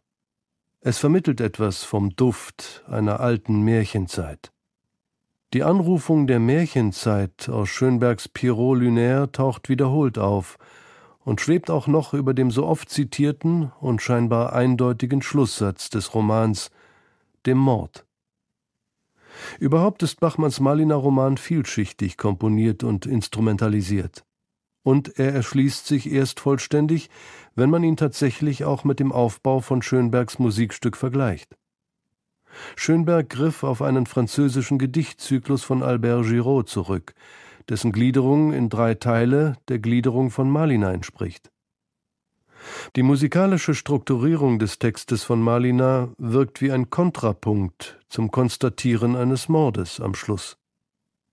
Über die Musik sagte Bachmann in einem Interview Sie hilft mir, indem sich in ihr für mich das Absolute zeigt, dass ich nicht erreicht sehe in der Sprache, also auch nicht in der Literatur, weil ich sie für überlegen halte also eine hoffnungslose Beziehung zu ihr habe. Ja, das erklärt wahrscheinlich gar nichts für jemand anderen, aber. Die Musik ist ja nun etwas Irrationales. Und das Irrationale. Sagen Sie das nicht einem Komponisten. Malina erschien 1971 in einer politisch stark aufgeladenen Zeit. Und man hat die Autorin in Interviews auch danach gefragt. Es falle auf, dass Malina sehr dezidiert auf wenige Personen und ihre Gefühlszustände begrenzt sei und keine Rückschlüsse auf politische Zusammenhänge zulasse. Man könnte sich natürlich fragen, also wo kommt denn hier zum Beispiel, sagen wir, der Vietnamkrieg vor? Wo ist überhaupt, äh, wo ist das Weltgeschehen? Aber das Weltgeschehen, das ist ja eine Pflichtübung, man, mit der manche meinen, dass man dadurch etwas über diese Zeit geschrieben hätte. Ich glaube aber nicht, dass das die Sache der Literatur ist, auf diese Weise über die Zeit zu schreiben, sondern ihre Phrasen zu zerschreiben und dass ich auch an, an diesen Bewusstseinsvorgängen oder an diesen Angstzuständen müsste sich zeigen, dass dieses Buch von heute ist. Und dass es nicht im Nirgendwo spielt, auch dass äh, seine Privatheit weit über das Private hinauszielt. Auch in den verschiedenen Fragmenten in Bachmanns Nachlass erscheint das Mann-Frau-Verhältnis als Ausdruck eines gesellschaftlichen Zusammenhangs. Die raffinierte Spiegelungstechnik, die ästhetisch hochdifferenzierte Zeichnung von Innenwelten und die dabei angelegten literarischen Deutungsmuster entziehen sich allzu eindeutigen Lesarten. Wie am Schluss von Undine geht und wie in den existenzialistisch aufgeladenen Gedichten der 50er Jahre gibt es in der Prosa von Ingeborg Bachmanns letzten Lebensjahren immer auch eine paradox anmutende Art von Hoffnung, eine Sehnsucht, in der das Leben in der Literatur aufgehoben erscheint. Ein Jahr vor Bachmanns Tod kam ihr Erzählungsband simultan heraus. Er endet mit der großen Erzählung Drei Wege zum See. Und hier scheint am reinsten eine Utopie auf, die diese Autorin früh für sich entdeckte. Im Grunde aber beherrscht mich noch immer die mythenreiche Vorstellungswelt meiner Heimat, die ein Stück echtes, kaum realisiertes Österreich ist. Eine Welt, in der viele Sprachen gesprochen werden und viele Grenzen verlaufen. Ein Stück echtes, kaum realisiertes Österreich. In Drei Wege zum See greift Ingeborg Bachmann diese Vision auf. Die Autorin umkreist das Potenzial ihrer Heimatregion um Klagenfurt, das Aneinandergrenzen der deutschen, der slowenischen und der italienischen Sprache, etwas, das wie Ernst Blochs Prinzip Hoffnung in ihre Kindheit scheint. Hauptfigur ist die weltläufige Fotografin Elisabeth Matrei, die bei einem Aufenthalt in ihrer Heimatstadt Klagenfurt an ihre inneren Grenzen gerät. Sie liest einen Essay mit dem Titel Über die Tortur, und es wird deutlich, dass es sich um einen Text von Jean Amery handelt, der darin sein Trauma beschreibt, als gefolterter Jude die NS-Zeit überlebt zu haben. Und mit diesem Hintergrund wird auch die Geschichte des Mannes erhellt, den Elisabeth Matrei liebt. Sein Name ist Franz Josef Trotter. Er ist der Sohn der Hauptfigur aus Josef Roths Roman Die Kapuzinergruft, der im Jahr 1938 vom Vater zu einem Freund nach Paris ins Exil geschickt wird. Ingeborg Bachmann lässt ihn in ihrer Erzählung in den 50er Jahren wieder auferstehen und verleiht ihm das Gesicht des den Nazischergen entronnenen Dichters Paul Celan. Die ersten Tage, in denen sie Trotter suchte und floh und er sie suchte und floh, waren das Ende der Mädchenzeit, der Anfang ihrer großen Liebe. Und wenn sie später auch wie sie es aus dem jeweiligen Blickwinkel eben sah, meinte, eine andere große Liebe sei ihre große Liebe gewesen, dann war doch Trotter, nach mehr als zwei Jahrzehnten auf dem Höhenweg Nummer eins, noch einmal die große Liebe. Die unfasslichste, schwierigste zugleich, von Missverständnissen, Streiten, aneinander vorbeisprechen, Misstrauen belastet, aber zumindest hatte er sie gezeichnet. Nicht in dem üblichen Sinn, nicht weil er sie zur Frau gemacht hatte, denn zu der Zeit hätte das auch schon ein anderer tun können, sondern weil er sie zum Bewusstsein vieler Dinge brachte, seiner Herkunft wegen, und er, ein wirklich exilierter und verlorener, sie, eine Abenteurerin, die sich weiß Gott was für ihr Leben von der Welt erhoffte, in eine Exilierte verwandelte, weil er sie erst nach seinem Tod langsam mit sich zog in den Untergang, sie den Wundern entfremdete und sie die Fremde als Bestimmung erkennen ließ. Als der Erzählband simultan erscheint, weiß man noch nichts von der frühen Beziehung Ingeborg Bachmanns mit Paul Celan. Man ahnt nichts von dem Briefwechsel der beiden, durch den die hier auf Elisabeth Matrei bezogenen Daten und Überlegungen als zentrale Momente der Liebe zwischen Bachmann und Celan erkennbar werden. Die Autorin lässt Trotter aus Slowenien stammen, ihrem Kindheitsgrenzland. Er ist Teil eines untergegangenen Reiches, das zwischen den Romanen Josef Roths und Ingeborg Bachmanns eigenem Habsburg-Mythos angesiedelt ist. Vor allem aber ist Trotter der unerreichbare, ferne Geliebte, die einzige und große Liebe. Sie ist nur in der Literatur zu verorten, und hatte mit Paul Celan eine konkrete Gestalt gefunden. Diese Vision hatte Ingeborg Bachmann bereits in einer öffentlichen Rede 1959 zum Ausdruck gebracht. Innerhalb der Grenzen aber haben wir den Blick gerichtet auf das Vollkommene, das Unmögliche, Unerreichbare, sei es in der Liebe, der Freiheit oder jeder reinen Größe. Im Widerspiel des Unmöglichen mit dem Möglichen erweitern wir unsere Möglichkeiten. Dass wir es erzeugen, dieses Spannungsverhältnis, an dem wir wachsen, Darauf, meine ich, kommt es an, dass wir uns orientieren an einem Ziel, das freilich, wenn wir uns nähern, sich noch einmal entfernt.